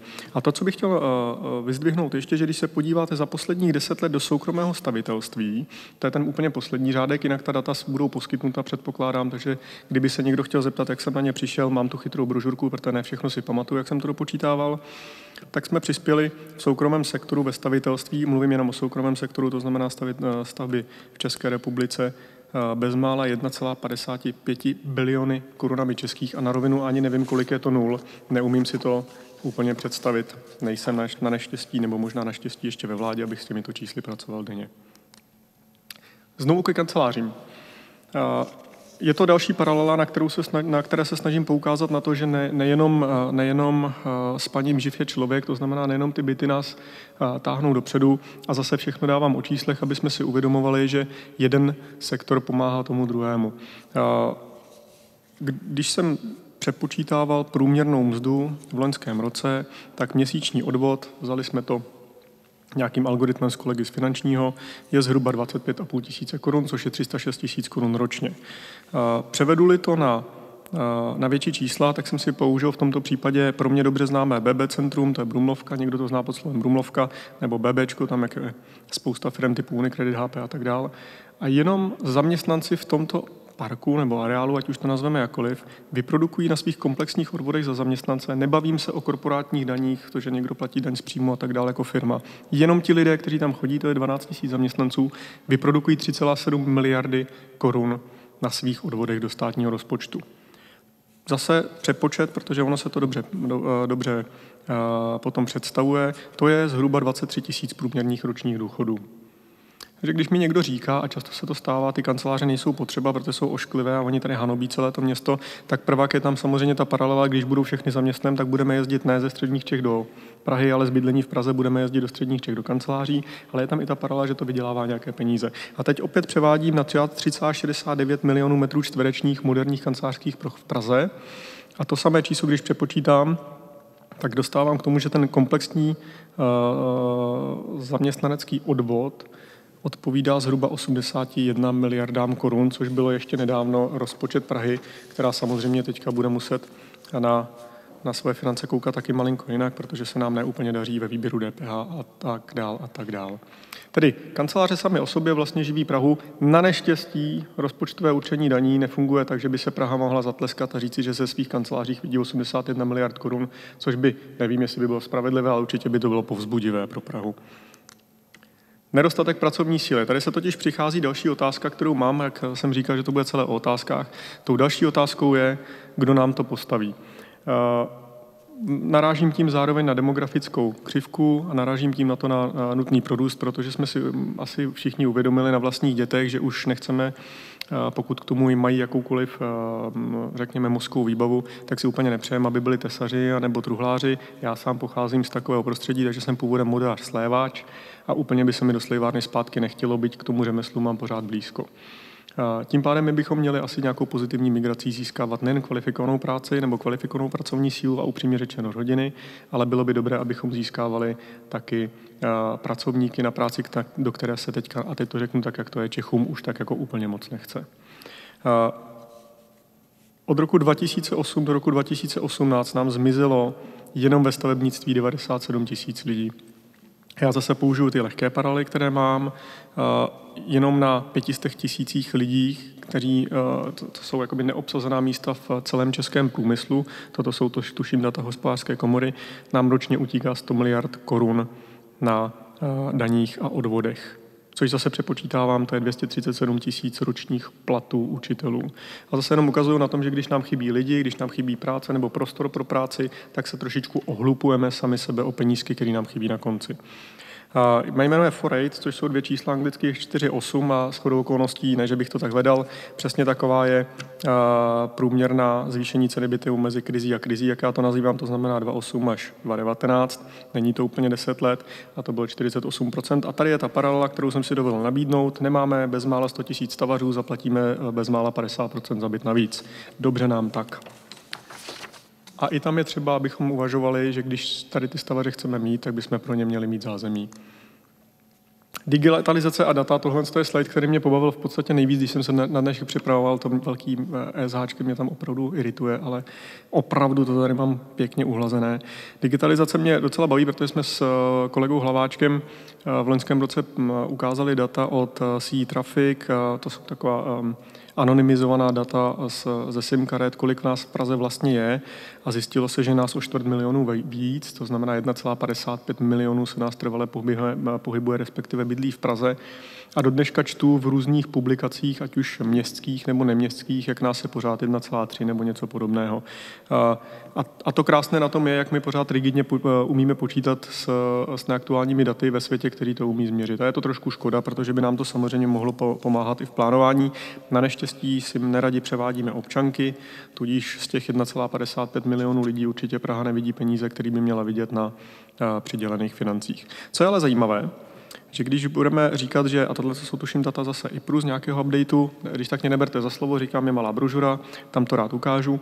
Roční potřeba bytové výstavby v Praze byla rekvalifikována na 8 až 13 tisíc bytů, já budu říkat 13 tisíc, pro mě je to všechno to pozitivní. A stavíme zhruba pět. To znamená, my se tak vesele propadáme, možná pan Hana bude vědět přesná čísla, já nevím, je to zhruba pět tisíc ročně, stavíme teďka bytů, zhruba tak tak z toho asi lehkou matematikou zjišťujeme, že máme pořád větší a větší deficit. Když bychom vzali kompletní metropolitní plán, a já tohle to jsem říkal jako obhajobu metropolitního plánu a i velikou prozbu ho ne, neoholovat, tak ho při deseti tisících bytech za rok, což nevím, kdo by stavěl, ale je potřeba uvažovat i v tom rozměru, kdo nám postaví a kolik nám postaví, tak ho celý spotřebujeme za 31 let, což s chodou okolností je zase směrem k roku 2050.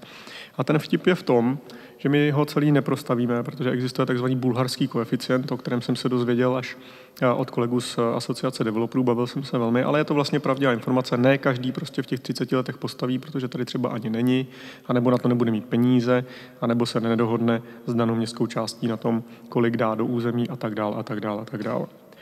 Tedy ten závěr můj, protože jsem se snažil vejít do času a rád zodpovím jakékoliv další dotazy, je celkem jednoduchý a zase podpořuji to, co říkal pan doktor Heinz a těší mě velmi, že to měl ve své prezentaci.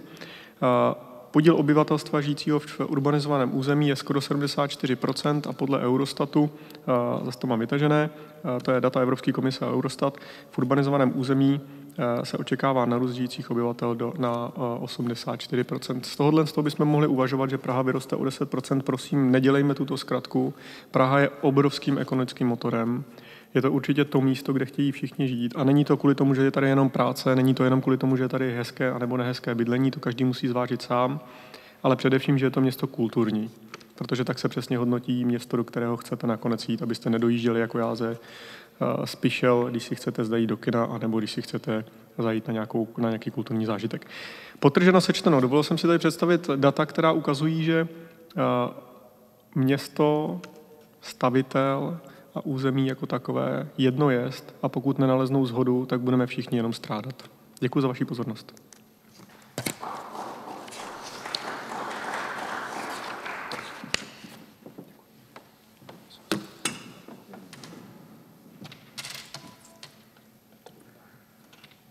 A poslední příspěvek je Martin Červinka. Ještě Petr Urbánek jsem zapomněl. To je strašně důležitý. Tak Martine, máš na to 12 minut. Já jsem byl požádán, aby jsem přispěl trošku do mlína na téma Pražská developerská společnost, a kde jsem třetí pracovní den mám za sebou s ředitelem té instituce, nebo respektive příspěvkové organizace. A, takže se pokusím a, vlastně schrnout něco z toho, co se plánuje, proč, proč um, Pražská developerská společnost příspěvková organizace vznikla? A uh, jak um, by měla nebo jak bude um, pracovat uh, nebo může pracovat uh, se svěřeným, se svěřeným majetkem. Proč vznikla? Já tady nebudu tak hezky říkat všechny čísla, která tady vlastně jako zazněla a která vlastně odpovídají těmhletěm dvou větám od z knížky, kterou mám poslední rok a půl opravdu rád, co ji studuju. A lépe je asi si to ukázat na obrázku. Svět se urbanizuje, náš zejména západní, západní civilizace se urbanizuje posledních několik desítek let velmi intenzivně. Mně se nepodařilo, a myslím, že se to asi nedá podařit, že bychom měli takovýhle obrázek vlastně noční Evropy nebo nočního světa někdy třeba z roku 1950 nebo 30, to prostě nemáme ale vypadal by určitě dramaticky, dramaticky jinak. A před chvílí tady padala slova, že vlastně Praha je velký magnet, magnet na to, aby tady lidi měli zájem, jak pracovat, tak bydlet. A, jsou proto, jsou, je, proto mnoho, mnoho demokratických dat. Problém, který vlastně dohromady s těmi čísly máme, že Praha jako město a s těmi a, svými a, hodnotami, zejména se svým vlastnictvím, a, za posledních mnoho desítek let a, vlastně ne úplně správně hospodařila. Mnoho z důvodů jsme tady viděli podrobně rozebraných a určitě budou předmětem diskuze. A důvod vzniku pražské developerské je tedy velmi na snadě. Ale jak vlastně Praha, respektive dneska již založená teda pražská developerská společnost, by se měla postavit, postavit k tomu, aby umožnila, umožnila to, že bydlení, jeho ceny a jeho lokality budou dostupnější a budou vlastně umožňovat lepší, lepší rozdělení, rozdělení těch jednotlivých funkcí ve městě, nejenom v rámci regulací a územních plánů, ale vlastně v rámci také aktivní, aktivní přípravy pro její budování. Já proto mám taky jako velmi jednoduchý, jednoduchý grafik, který už ukazuju mnoho, na mnoha místech, takže předpokládám, že už ho hodně lidí vidělo a zná zná. Jednoduché developerské, developerské fáze vlastně každého projektu architekti mají ve svých výkonových fázích. Se dají rozdělit, každý developerský projekt se dá rozdělit, rozdělit zhruba na nějakých 4 až 5 fází a v každých těch fázích rostou, rostou náklady na realizaci každého projektu stavebního charakteru. To je ta bílá čerchovaná čára, ale zároveň, protože se eh, zužuje ten prostor k tomu, jak lze ten projekt ovlivňovat, jak má být velký, co v něm je a podobně, a tak zároveň vrost, eh, se snižuje vliv vlastníka na to, um, jak um, ta, ta, to území, ten projekt, ten dům um, může vypadat. A takže vlastně development jako proces je o udržení vlivu na to, aby, jsem, aby, aby ten developer dneska mnohokrát zmiňované, že, a mnohokrát už zmiňované to, že to není jakoby úplně správné populární e, slovo. Aby si udržel vliv a z dnešního pohledu tedy a, i Praha, aby si udržel vliv nad svým nemovitostním vlastnictvím, tak by vlastně a, si ten vliv měla udržovat co možná nejdále a co možná nejvíce. To se bohužel mnoho, mnohokrát jakoby nedělo, protože v té developerské, v té developerské v tom developerském rozdělení těch jednotlivých fází je potřeba si představit, že vlastně až fáze 4 je vlastní fáze výstavby. Taky, když se podíváte, tak ta ty, ty, ty náklady, jak kumulativně rostou, tak vlastně zásadní, zásadní investice skutečně, skutečně, skutečně přichází až v té čtvrté, až v té čtvrté fázi. Ale kdy máme největší vliv, a to znamená v té fázi 0 a fázi 1, kdy určujeme, co, co a jak velké na daném území má být, tak to vlastně nepřináší tak mnoho, tak mnoho jaksi přímých nákladů, ale na druhou stranu to může přinést velkou kvalitu a, a vlastně specifikaci, specifikaci, specifikaci toho, jak se, jak se k té dané problematice postavit. Pražská developerská společnost vznikla 1. 6. letošního roku.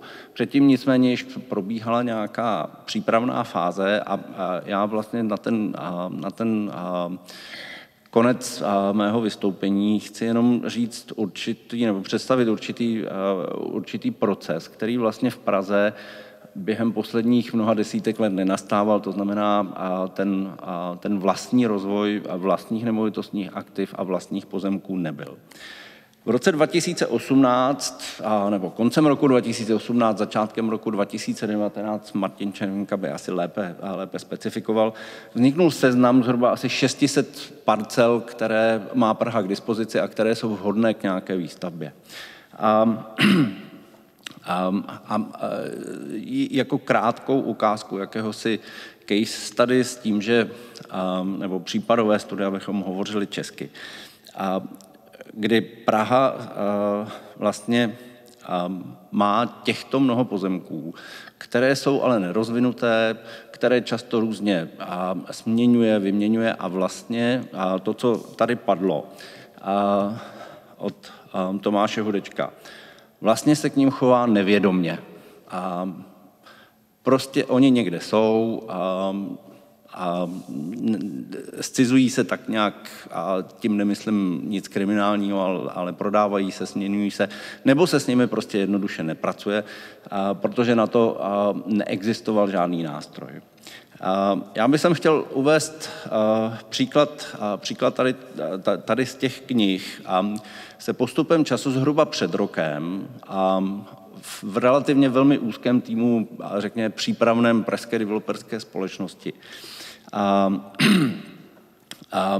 vyspecifikoval zhruba 10 nebo 15 lokalit, kde se na základě jednotlivých pozemků z těchto knih objevilo například takovéhle území, kde Praha jako město je vlastníkem skoro 22 hektarů pozemků. A v těch knihách nicméně tyto pozemky byly rozatomizovány na asi 15, 15 položkách nebo 16 položkách a v zásadě vlastně v Praze do loňského roku nikdo nevnímal, nevnímal to, že by toto mělo být, mělo být nějaké zásadní území, o které by se Praha měla starat. Důkazem je například to, že nově vznikající stanice metra Nové dvory, nebo do budoucna snad brzo vznikající stanice metra Nové dvory, tak pro ně Praha eh, nějakým způsobem vlastně jenom vykupovala nějakou malou část pozemku, aniž by vlastně k tomu byla jakási jakákoliv, jaká, jakýkoliv podklad, podklad, podklad k tomu, aby um, se to území pojalo jako celek. Dneska zhruba teda po nějakém necelém roce činnosti máme harmonogram a víme, že to, co dřív, to, co je 22 hektarů a lze na tom vytvořit zhruba 140 tisíc metrů čtverečních nějakého vystaveného podlaží v nadzemních plochách. Lze po úpravě územního plánu, ve chvíli, kdy se na to nahlédlo jaksi koordinovaně, a, a z vyšší ptačí perspektivy a s nějakým, a s nějakým jaksi ekonomickým a, a, ekonomickým, sociálním i architektonickým a urbanistickým vstupem, tak víme, že tam bude možné s největší pravděpodobností velmi brzo začít plánovat a projektovat zhruba 290 tisíc metrů čtverečních. A navíc na místě, kam povede metro, na které Praha vydá 75 miliard korun. Tak to je jenom krátký vstup vlastně tomu, abychom na nějakém konkrétním případě představili to, čím se pražská developerská společnost vlastně zabývá, částečně a řekněme již trošku zabývala a jaký konkrétní dopad to může mít pro Prahu. Děkuji za pozornost.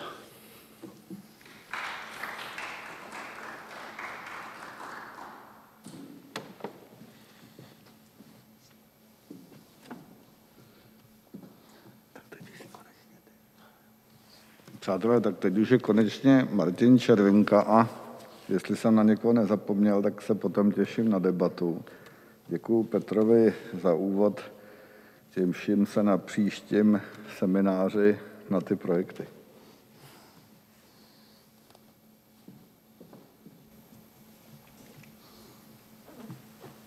Dobrý den. Já tedy mm, jsem dneska v pozici záskoku za Pavla Vorlíčka, znalce, který v důsledku neustálých přesunů tohoto semináře se dnes bohužel nemohl zúčastnit. Eh, já mám jenom krátkou aktualitu spíše právně administrativního charakteru, ale vnímám ji jako hrozně důležitou, jak pro všechny ty témata, o kterých dnes hovoříme. To znamená, to je novela zákona 151.97 o oceňování majetku, která prošla eh, sněmovnou na jaře a je i podepsána a je Eh, účinná od 1. ledna 2021. Eh, kromě nějakých dalších věcí, které jsou taky určitě důležité, zvlášť pro odbory tady na magistrátu, jako které se týkají oceňování věcných břemen a dalších záležitostí, tak eh, hlavně tato novela poprvé definuje do zákona o oceňování něco jako tržní hodnota protože zatím eh, se eh, zabýval zákon platný vlastně do konce letošního roku pouze obvyklou cenou a nyní budeme mít tržní hodnotu. Eh, což jsou dvě důležité věci. Jak je vidět, jedno je obvyklá cena, to znamená, to je něco, co vzniklo nějakou konkrétní transakcí, je definováno nějakým dokumentem. A na druhé straně máme, což bylo doposud, a od prvního, první máme tržní hodnotu. To znamená, obvyklá cena musí být podložena nějakou reálnou transakcí, obvykle kupní smlouvou. Tržní hodnota je nějakým expertním názorem, je tvořena na trhu, v soukromém sektoru je důsledkem nějakých jednání, zkoumání, oceňování a samozřejmě jako taková nemá úplně přesné vyčíslení, řekněme do halíře, je to nějaký názor těch smluvních stran nebo těch jednajících stran a nějakých profesionálů, kteří oceňují. To znamená jenom krátce pro vysvětlení obvyklé, obvyklé ceny. Pokud máte byt a chcete ho nacenit obvyklou cenou, tak samozřejmě najdete mnoho transakcí s byty, eh, podle kterých znalec může obvyklou, eh, obvyklou cenu určit. Pokud máte stodolu eh, třeba na nějakém místě, představme si třeba v Praze, na vítězném náměstí, tak pokud bychom chtěli určit obvyklou cenu, museli bychom najít podobné stodoly někde v Praze, které byly prodávány v přiměřeném časovém odstupu a z toho by obvyklá cena vznikla. A ty by vstupovaly do toho ocenění stodoly na e, vítězném náměstí. Ale samozřejmě z praxe víme, že ta e, cena té nemovitosti, v tomto případě třeba spíše pozemku, je dána tím využitím. To znamená, e, s tímhle vlastně ten zákon o oceňování do posud vůbec nepočítal. Otevírají se tím a kdo se pohyboval třeba na nějak nemovitostním trhu, ví, že mnoho ocenění, které mu prošlo rukama, se vlastně odkazovalo třeba na proluku na Národní třídě, což byl jeden z mála eh, pozemků v Praze, který byl obchodován jako transakce nemovitostní, nikoliv jako transakce prodeje obchodního podílu. Tudíž eh, znalci rádi se odkazovali na tuto transakci, pak až někde v podstatě na Palmovce s různými koeficienty dedukovali nějakou obvyklou cenu pozemků v Praze, protože i třeba co se týče pozemků pro development, tak samozřejmě 90 80, 95% nevím, ale eh, výrazná část probíhá jako prodej obchodního podílu, nikoliv jako eh, transakce prodeje pozemku, který by byl někde dohledatelný pro znalce jako obvyklá cena. To znamená, pokud se podíváme do stávajícího znění zákona, eh, je to cena, která byla dosažena při prodejích, to znamená, musí dojít k tomu prodeji, musí dojít té transakci, nikoliv eh, je dle nějakého, nějaké situace na trhu, kterou zkoumá a obhajuje a definuje znalec. A dokonce se tady praví, že obvyklá cena vyjadřuje hodnotu věci a učí se porovnáním, což je věta trochu vnitřně nelogická. A e, toto je teda nové znění, které doplňuje, že pokud nelze obvyklou cenu určit, to znamená, pokud prokazatelně v Praze nemáme stodoly, podle kterých bychom porovnali tu stodolu na vítězném náměstí, můžeme ocenit tržní hodnotou tu nemovitost. A samozřejmě je tam nějaká pojistka, že nutno nelze, nejdříve tu obvyklou cenu e, vysvětlit, proč ji nelze, nelze získat. A e, v odstavci 4 eh, paragrafu 2 je, je vlastně definice tržní hodnoty, která kopíruje nějaké eh, mezinárodně uznávané standardy, eh, včetně Redbooku RICS, takže je to, opravdu, je to opravdu velký posun toho, jak by se oceňování i ve smyslu vztahu veřejné zprávy a soukromého sektoru mohlo vyvíjet. Samozřejmě ten příběh má jistá úskalí, Eh, máme na jedné straně příběh o ocen, eh, zákon o oceňování majetku, na druhé straně máme zákon o hlavním městě Praze, případně zákon o obcích, kde se hovoří stále o ceně obvyklé, já jsem absolvoval několik diskuzí v posledních dnech. Ono tento termín vlastně není přímo hm, vázán na to znění původní zákona o oceňování, nicméně vnáší jistou nejistotu do toho, jak to bude fungovat po, po 1. 1. 2021. Tady je zákon o obcích, kde je stejný odstavec. Liší se to jenom tím, že v zákoně o hlavním městě Praze je odůvodněna a v zákoně o obcích zdůvodněna. A Eh, takže eh, samozřejmě to vnáší jistou nejistotu do toho, jak by eh, ti zodpovědní, kteří vždy, to znamená rady a zastupitelstvo ve finále o nějakých transakcích budou rozhodovat, hm, se k tomu staví. To znamená, aby byla naplněna vize a posun pozitivní v té novele asi by bylo do budoucna cestou změnit i ty související zákony, aby se odkazovaly případně na zákon 151 97 a mm, ta definice obvyklé ceny tam nemátla, abych tak řekl, i když věcně eh, jde ta novela používat od 1. 1. 2021. Takže tady je několik bodů, kde vidím eh, nějaké eh, pozitivní efekty pro veřejnou zprávu, to znamená možnost vlastně spočítat skutečnou tržní hodnotu nemovitosti, zejména pokud by třeba chtěla, chtělo město nakupovat, scelovat nějaká území a dokupovat pozemky.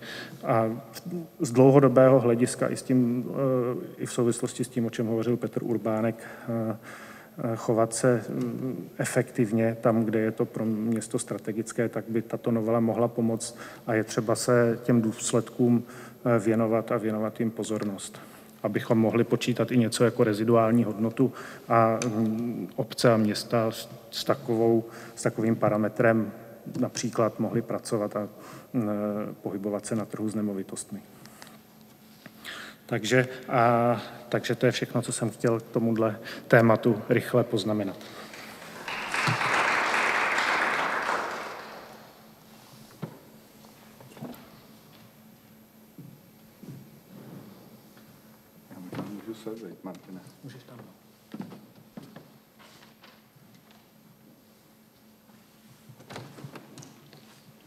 Přátelé, já bych moderoval krátkou debatu. Pokročilá hodina, ale asi si to zaslouží ještě trošku probrat. Připomínám, že prezentoval eh, Tomáš Hudeček, eh, Jaromír Heinz, eh, kolega Petr Hána, Eda Forejt, Petr Urbánek a Jaromír Čer, Martin Červinka. A jenom chci říct úplně na úvod té debaty, že bychom rádi v tomhle eh, programu v nějakých rozumných termínech, který, programu, který se jednoduše jmenuje Jak rozvíjet město eh, se všemi konsekvencemi eh, pokračovat. Hmm. Na začátku jsem zapomněl říct, že k tomu, k té redukci těch složitých systémů dochází, tak jak říká profesor Barta, především, když jsou doprovázeny nedostatkem zdrojů, Čili má to více eh, důvodů, eh, není v to pouze ta složitost, ale nějaké konsekvence, které bez zesporu prožíváme. Čili poprosil bych nejdřív o debatu tady aktérů a eh, pár hostů, tak aby jsme splnili limitní číslo akce ve vnitřním prostoru a potom, jestli se někdo bude ptát ještě zvenku, tak jistě se zeptám. Čili Můžu poprosit nejdřív tady interní dotaz a musíme, bohužel, že máme mikrofony eh, v lavicích, tak kdyby v, v, v, vždycky eh, přišel tazatel tady k mikrofonu, já se zatím načtu chat.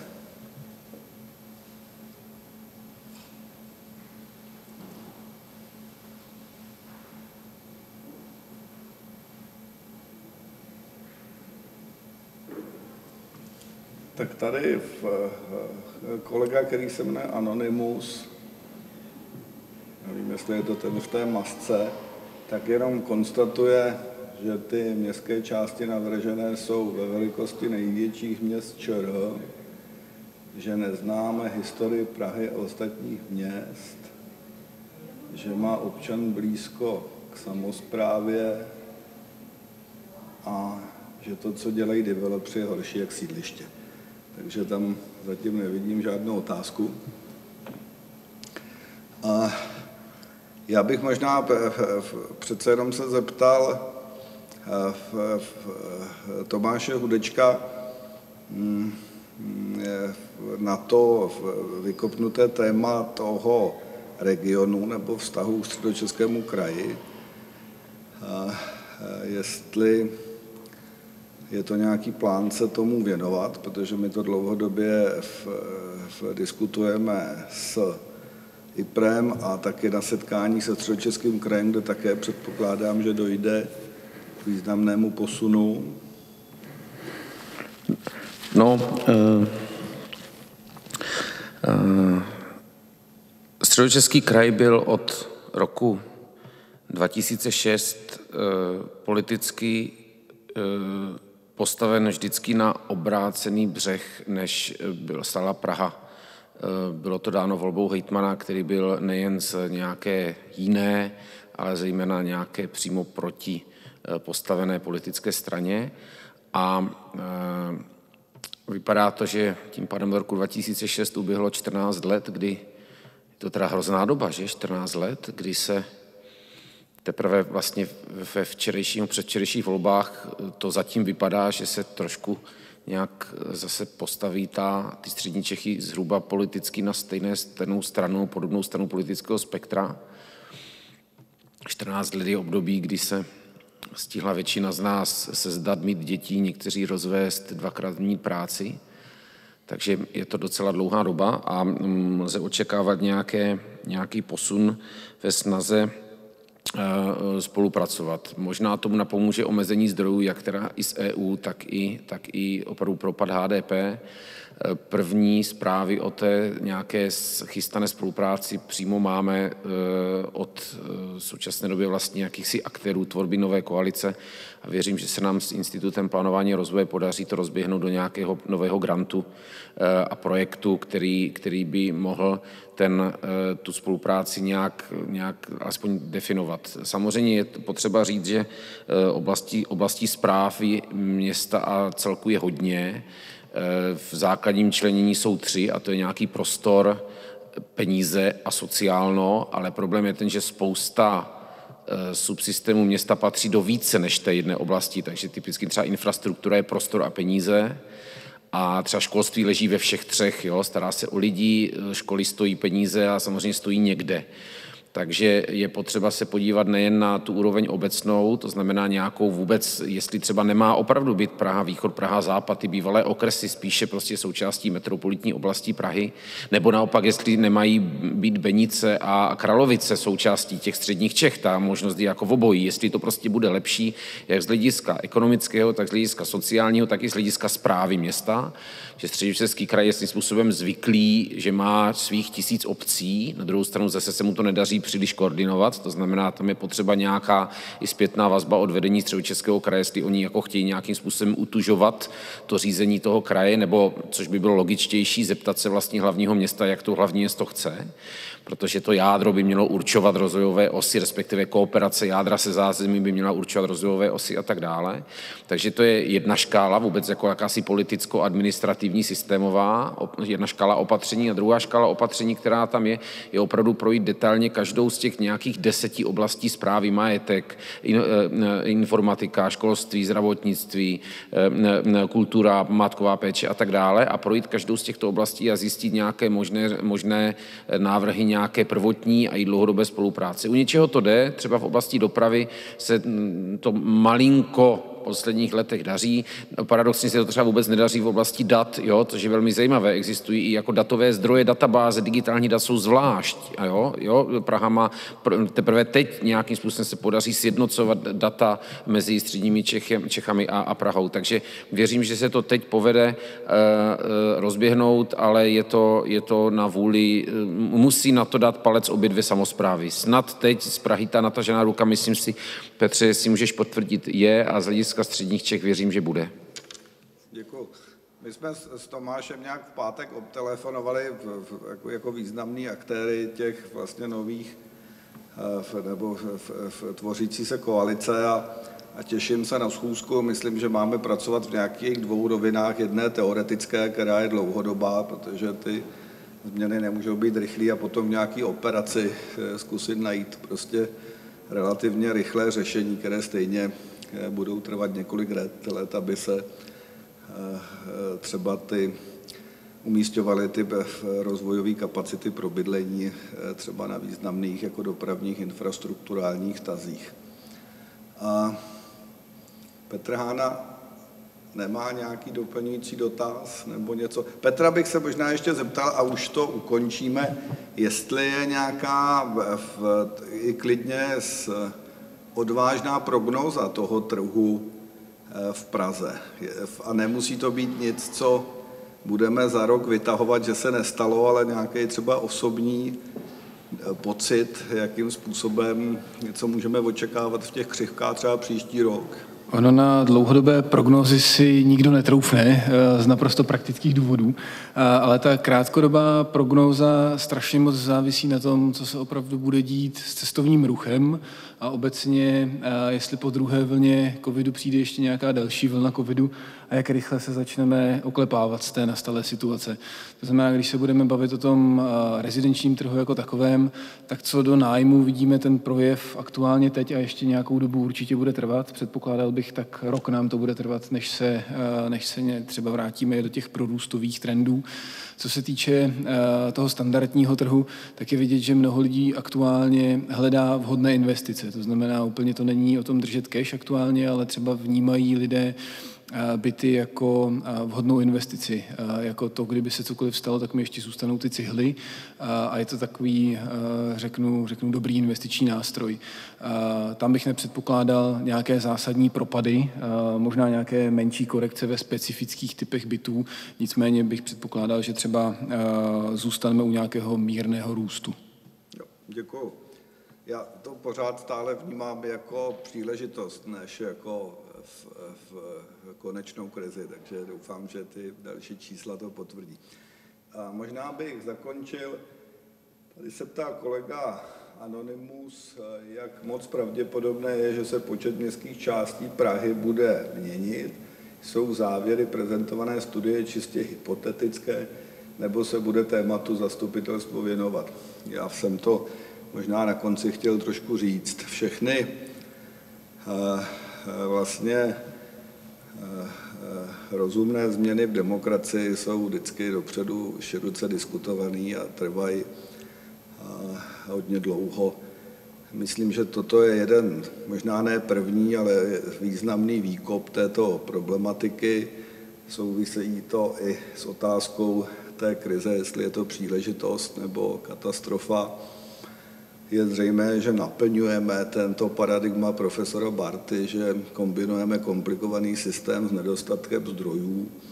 Myslím, že všeobecně sdílíme eh, v pocit, že nechceme zajistit pád té společnosti a to, co říkal i Eda Forejt, ten sociální smír, že eh, nám eh, při tom rozdělování toho produktu leží na srdci. Čili myslím, že je nutné to diskutovat. Je zároveň zřejmé, to říkali Tomáš Hudeček, že i za první republiky máme vlastně příklad velmi podobný, kdy z mnoha důvodů eh, historických eh, eh, Masarykova vláda vlastně přistoupila k nástroji státní plánovací komise, což byl druh vlastně diktátu, který myslím, že si dneska vůbec nedovedeme představit, dokonce bychom ho ani nechtěli dopustit, ale je to příklad eh, toho, že ten nadřazená struktura nějakým způsobem komunikuje s, s tou nižší eh, správní úrovní o nějaké reformě. A další analogií je Milán, který eh, vlastně podobně byl restrukturován tím vyšším jako celkem a je to zcela seriózní, legitimní téma. Ten eh, Thatcher, který je velmi vysoce hodnocen hodnotiteli, tak eh, nastínuje nějaké verze, buď těch velkých celků, nebo naopak menších a, a ukazuje příklady jiných měst. Vždycky, když ta reforma přichází trošku později než ta praxe, tak člověk nebo společnost může zvolit modernější verzi. Uvedl bych příklad, ve Spojených státech se do dneška používají papírové šeky, eh, které my jsme ještě nestačili ani zavést a skoro všichni používají platební karty, které v některých regionech Spojených států jsou třeba velmi málo používané. Jo? To je takový typický příklad, že možná můžeme eh, tu reformu nastavit více demokraticky a přitom efektivněji ve prospěch všech. A Eh,